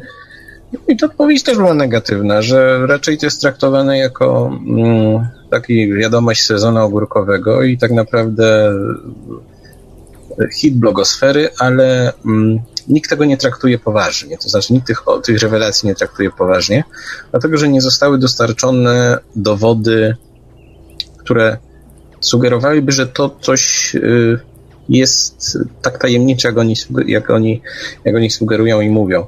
To nie mówię, że tej anomalii nie ma, że, że, tego, że, że tego tam nie ma, tylko że y, sugerowano, że to jest po prostu forma ukształtowania powierzchni. Nie jesteśmy ekspertami wszyscy od ukształtowania powierzchni Bałtyku. Nie wiemy, co tam jest na, na, na, na dnie, jak to wygląda, czy takich obiektów jest więcej. Te pierwsze zdjęcia, które się pojawiły, pokazujące takie, takie po prostu spękane kulisty, kulisty, kulistą formację, kolistą, no chyba odzwierciedlały to najlepiej. Pokazywały, że to pierwsze skojarzenie jest najlepsze i że mamy chyba do czynienia po prostu z tworem natury, Nie, nie ma się czy nie ma się, nie ma po prostu miejsca na doszukiwanie się jakichś e, teorii dowodów o chociażby pozaziemskim pochodzeniu tego obiektu na, na, na siłę. E, tak to, tak to moim zdaniem wygląda, chociaż oczywiście tutaj internet pęka od różnego rodzaju zwykle fałszywych zdjęć to przedstawiających ten obiekt. Większość informacji, na które można natrafić o bałtyckiej anomalii po prostu jest fałszywa, nie pochodzi z żadnego źródła. I te wszystkie blogi mające w tytule sformułowania typu tajemnice, ujawnianie prawdy i tak dalej, one zwykle są siewcami takich bredni totalnych. No ale niestety to się też rozchodzi.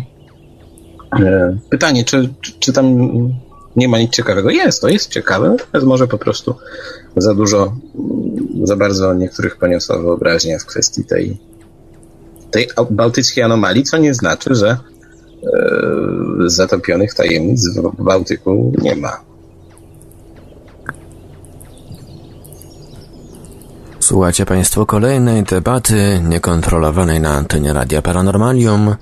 Zbliżamy się nieuchronnie do ostatniego pytania z naszej ściśle tajnej listy pytań, a brzmi ono następująco. Czy taka mnogość relacji o zatopionych miastach oznacza, że Atlantyda mogła być echem realnych wydarzeń? Co mówi nam to o historii naszej planety oraz zupełnie innej, kontrowersyjnej kwestii, jaką są całe zaginione kontynenty?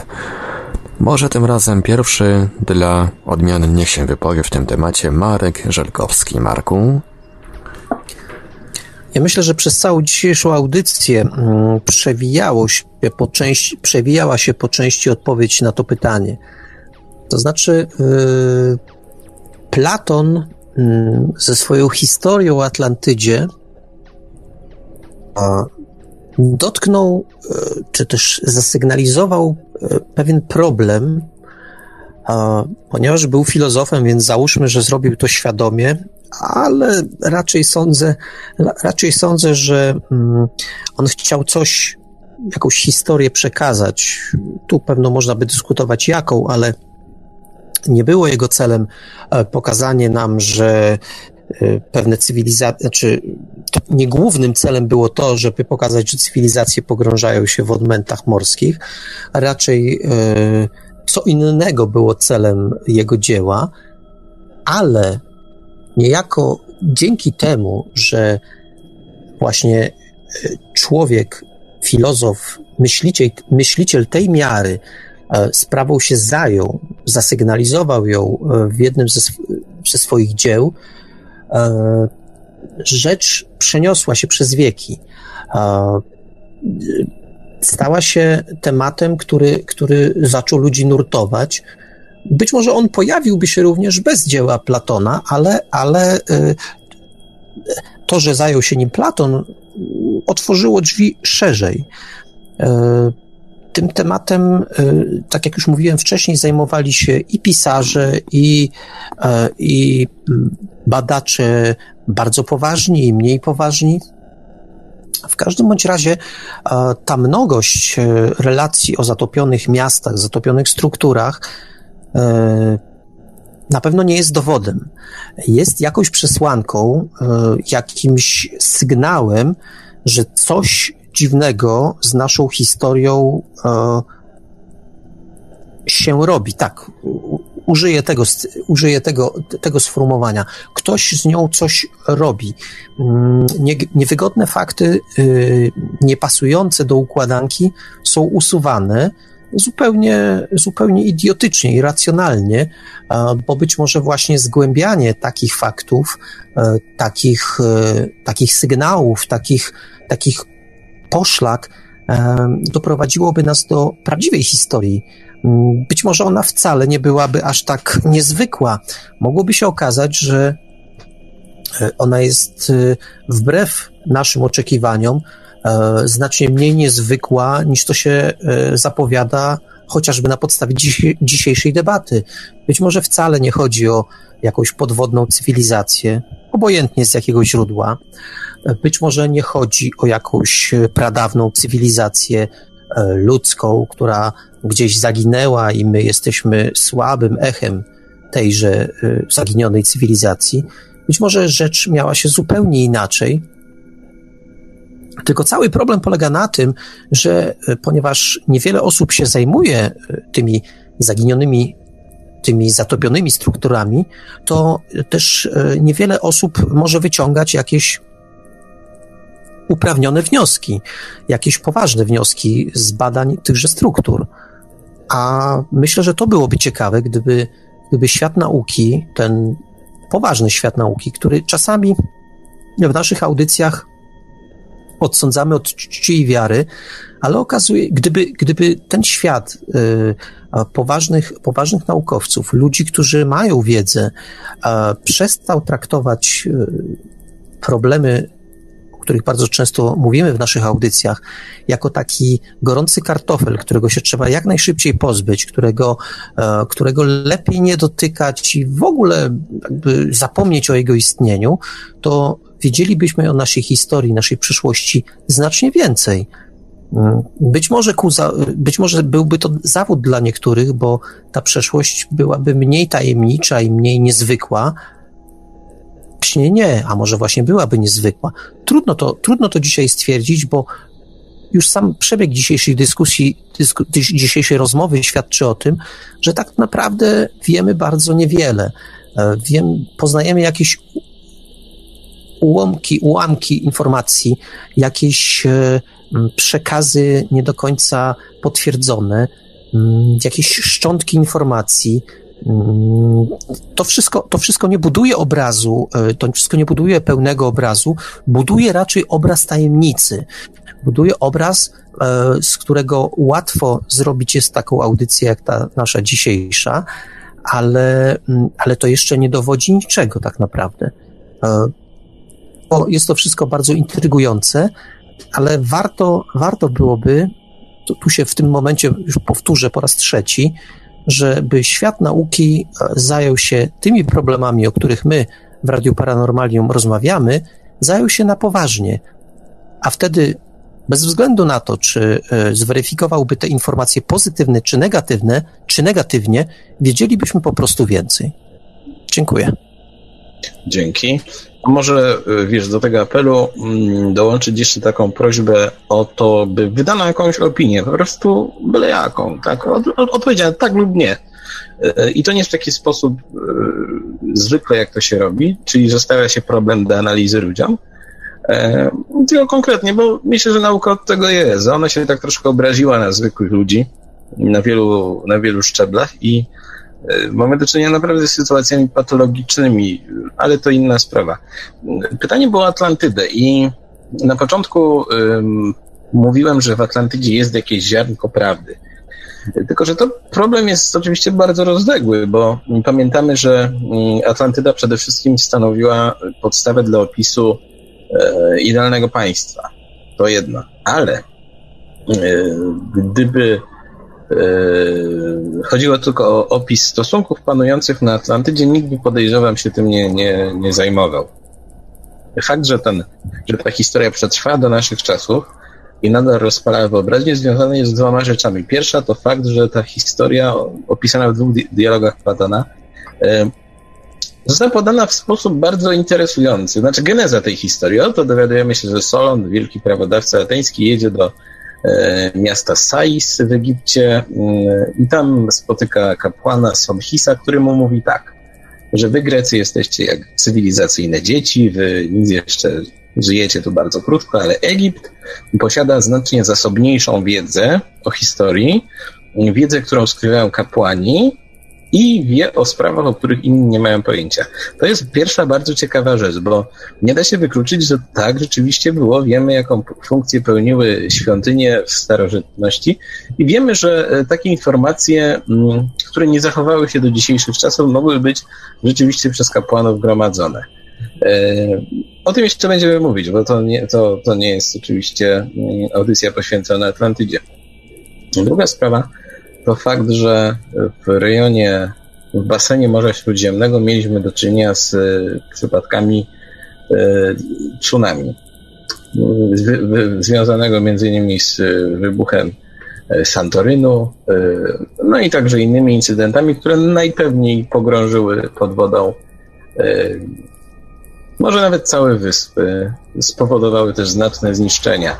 Stąd też pamięć o tych zdarzeniach, które unicestwiły m.in. kulturę minojską na Krecie, e, na pewno się zapisała w pamięci ludzi i na pewno e, dołożyła się do mitu, do mitu atlantyjskiego.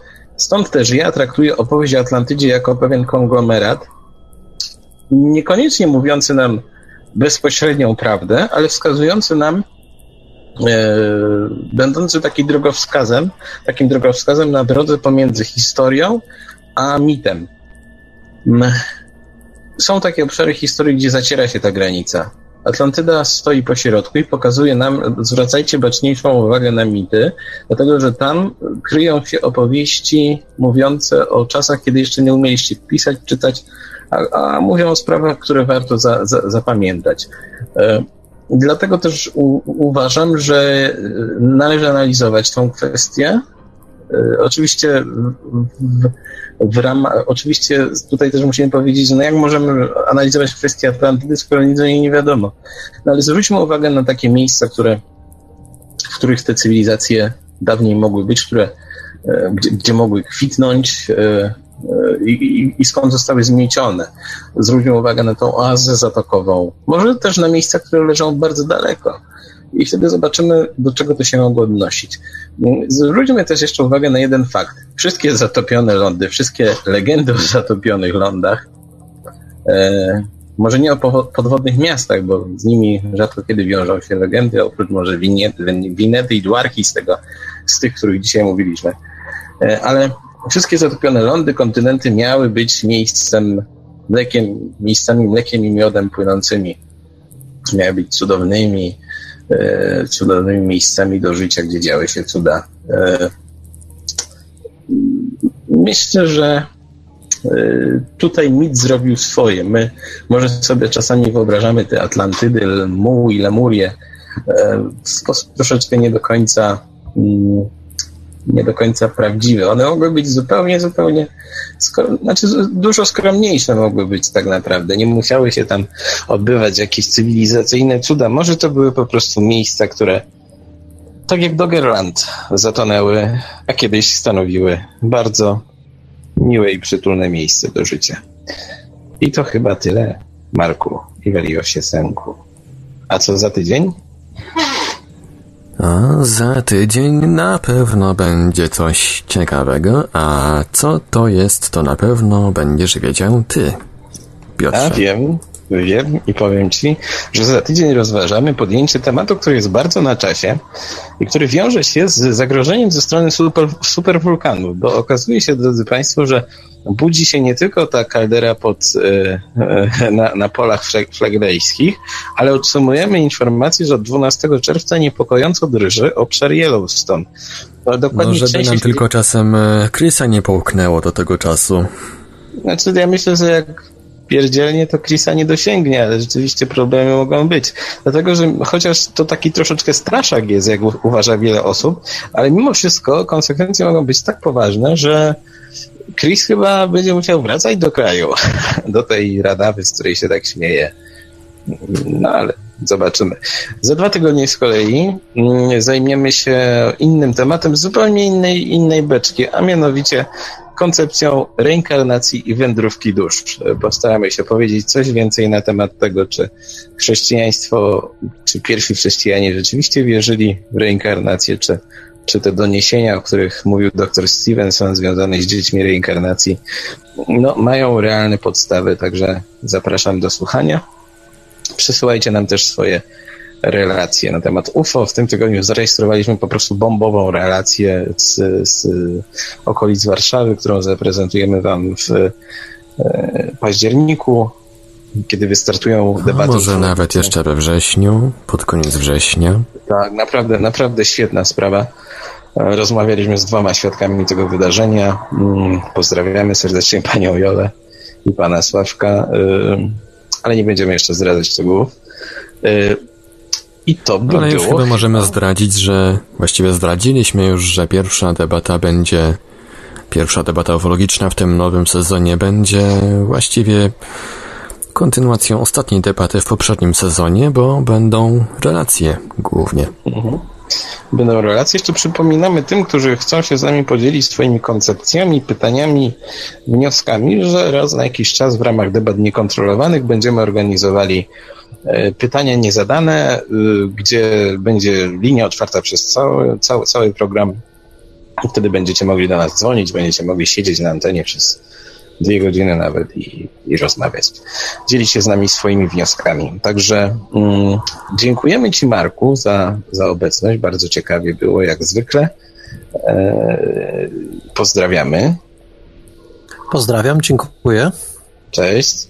Ja tylko przypomnę, że we wtorek wchodzi do kiosków nowy numer Nieznanego Świata, a tam jak zwykle mnóstwo ciekawych rzeczy. Jeżeli, jeżeli macie dostęp do archiwalnych numerów, to zajrzyjcie tam, dlatego że w ciągu ostatnich chyba 12 miesięcy dwukrotnie były artykuły poświęcone takim zatopionym e, miastom lub, lub dziwnym, dziwnym strukturom podwodnym, także, podwodnym, także zachęcam do sięgania po nieznany świat i pozdrawiam wszystkich serdecznie. Cześć. A mówił to A ja współprowadzący debaty w Radio Paranormalium, współpracownik Niestanego Świata Piotr Cielebiaś. Dzięki jeszcze raz Piotrze. No i Marek chciał coś jeszcze dodać. Marku? A ja, chcia a ja chciałem zaprosić wszystkich na y, kolejny odcinek Bibliotekarium. Odcinek znaczący, bo trzynasty. Y, I, I o tyle znaczący. I to jeszcze w piątek. Y, a w dodatku będziemy rozmawiać o Diable. E, I to bardzo, bardzo konkretnie i, i, będziemy się z tym diabłem e, mierzyć bardzo poważnie. Wiktor i ja postanowiliśmy temat diabelski właśnie zarezerwować na trzynasty odcinek. Myślę, że będzie ciekawie. Myślę, że będzie e, niepowtarzalnie, a właściwie nie tyle niepowtarzalnie, co będzie mm, będą ciekawe, ciekawe nowe teksty, to myślę zawsze, zawsze y, jest zachęcające, jeżeli można poznać coś, czego nikt wcześniej y, jeszcze nie słyszał. To, to, zawsze, to zawsze, zawsze pobudza wyobraźnię. W każdym bądź razie zapraszam 30, 30 czerwca w piątek o 20, 13 odcinek Bibliotekarium. Będziemy rozmawiać o diable. Także to była mała zapowiedź bibliotekarium. A dzisiejszą debatę ufologii... Dziś, przepraszam, pomyliło mi się coś. E, dzisiejszą debatę niekontrolowaną oczywiście, jak zawsze obsługiwał od strony technicznej Marek Sęgiewelios, Radio Paranormalium, paranormalny głos w Twoim domu, dobranoc i do usłyszenia ponownie w kolejnej debacie już za tydzień. Byłeś świadkiem zagadkowego zjawiska? Jeśli tak, poinformuj nas o tym już dziś. Czekamy na relacje współczesne oraz z lat ubiegłych. Nasze kontakty to numer gadu gadu 36 08 8002 36 08 8002 Numer telefonu 32 746 0008 32 746 0008 E-mail radiomałpa-paranormalium.pl radiomałpa-paranormalium.pl oraz skype radio.paranormalium.pl Czekamy na Twoją relację. Na życzenie świadka zapewniamy pełną anonimowość. Mówią, że włączyć radio jest bardzo łatwo. No tylko, że z wyłączeniem jest już, powiedzmy, troszeczkę gorzej. Posłuchaj nieznanego. Radio Paranormalium www.paranormalium.pl Pisz artykuły, rozmawiaj z czytelnikami, moderuj komentarze i poczuj się jak redaktor. Załóż bloga na Paranormalium. Więcej dowiesz się w dziale blogi na www.paranormalium.pl Mówią, że wejść do archiwum jest bardzo łatwo. No tylko, że z powrotem jest już, powiedzmy, troszeczkę gorzej. Archiwum Radia Paranormalium www.paranormalium.pl Rozmawiaj z prezenterami oraz z innymi słuchaczami na żywo. Wejdź na naszego czata na www.paranormalium.pl Dwa miesiące temu był trop prowadzący do dolnego radia, że ktoś ją tam słyszał podobno. Jednak potem okazało się, że to radio istnieje tylko w internecie. Radio Paranormalium. Paranormalny głos w Twoim domu. www.paranormalium.pl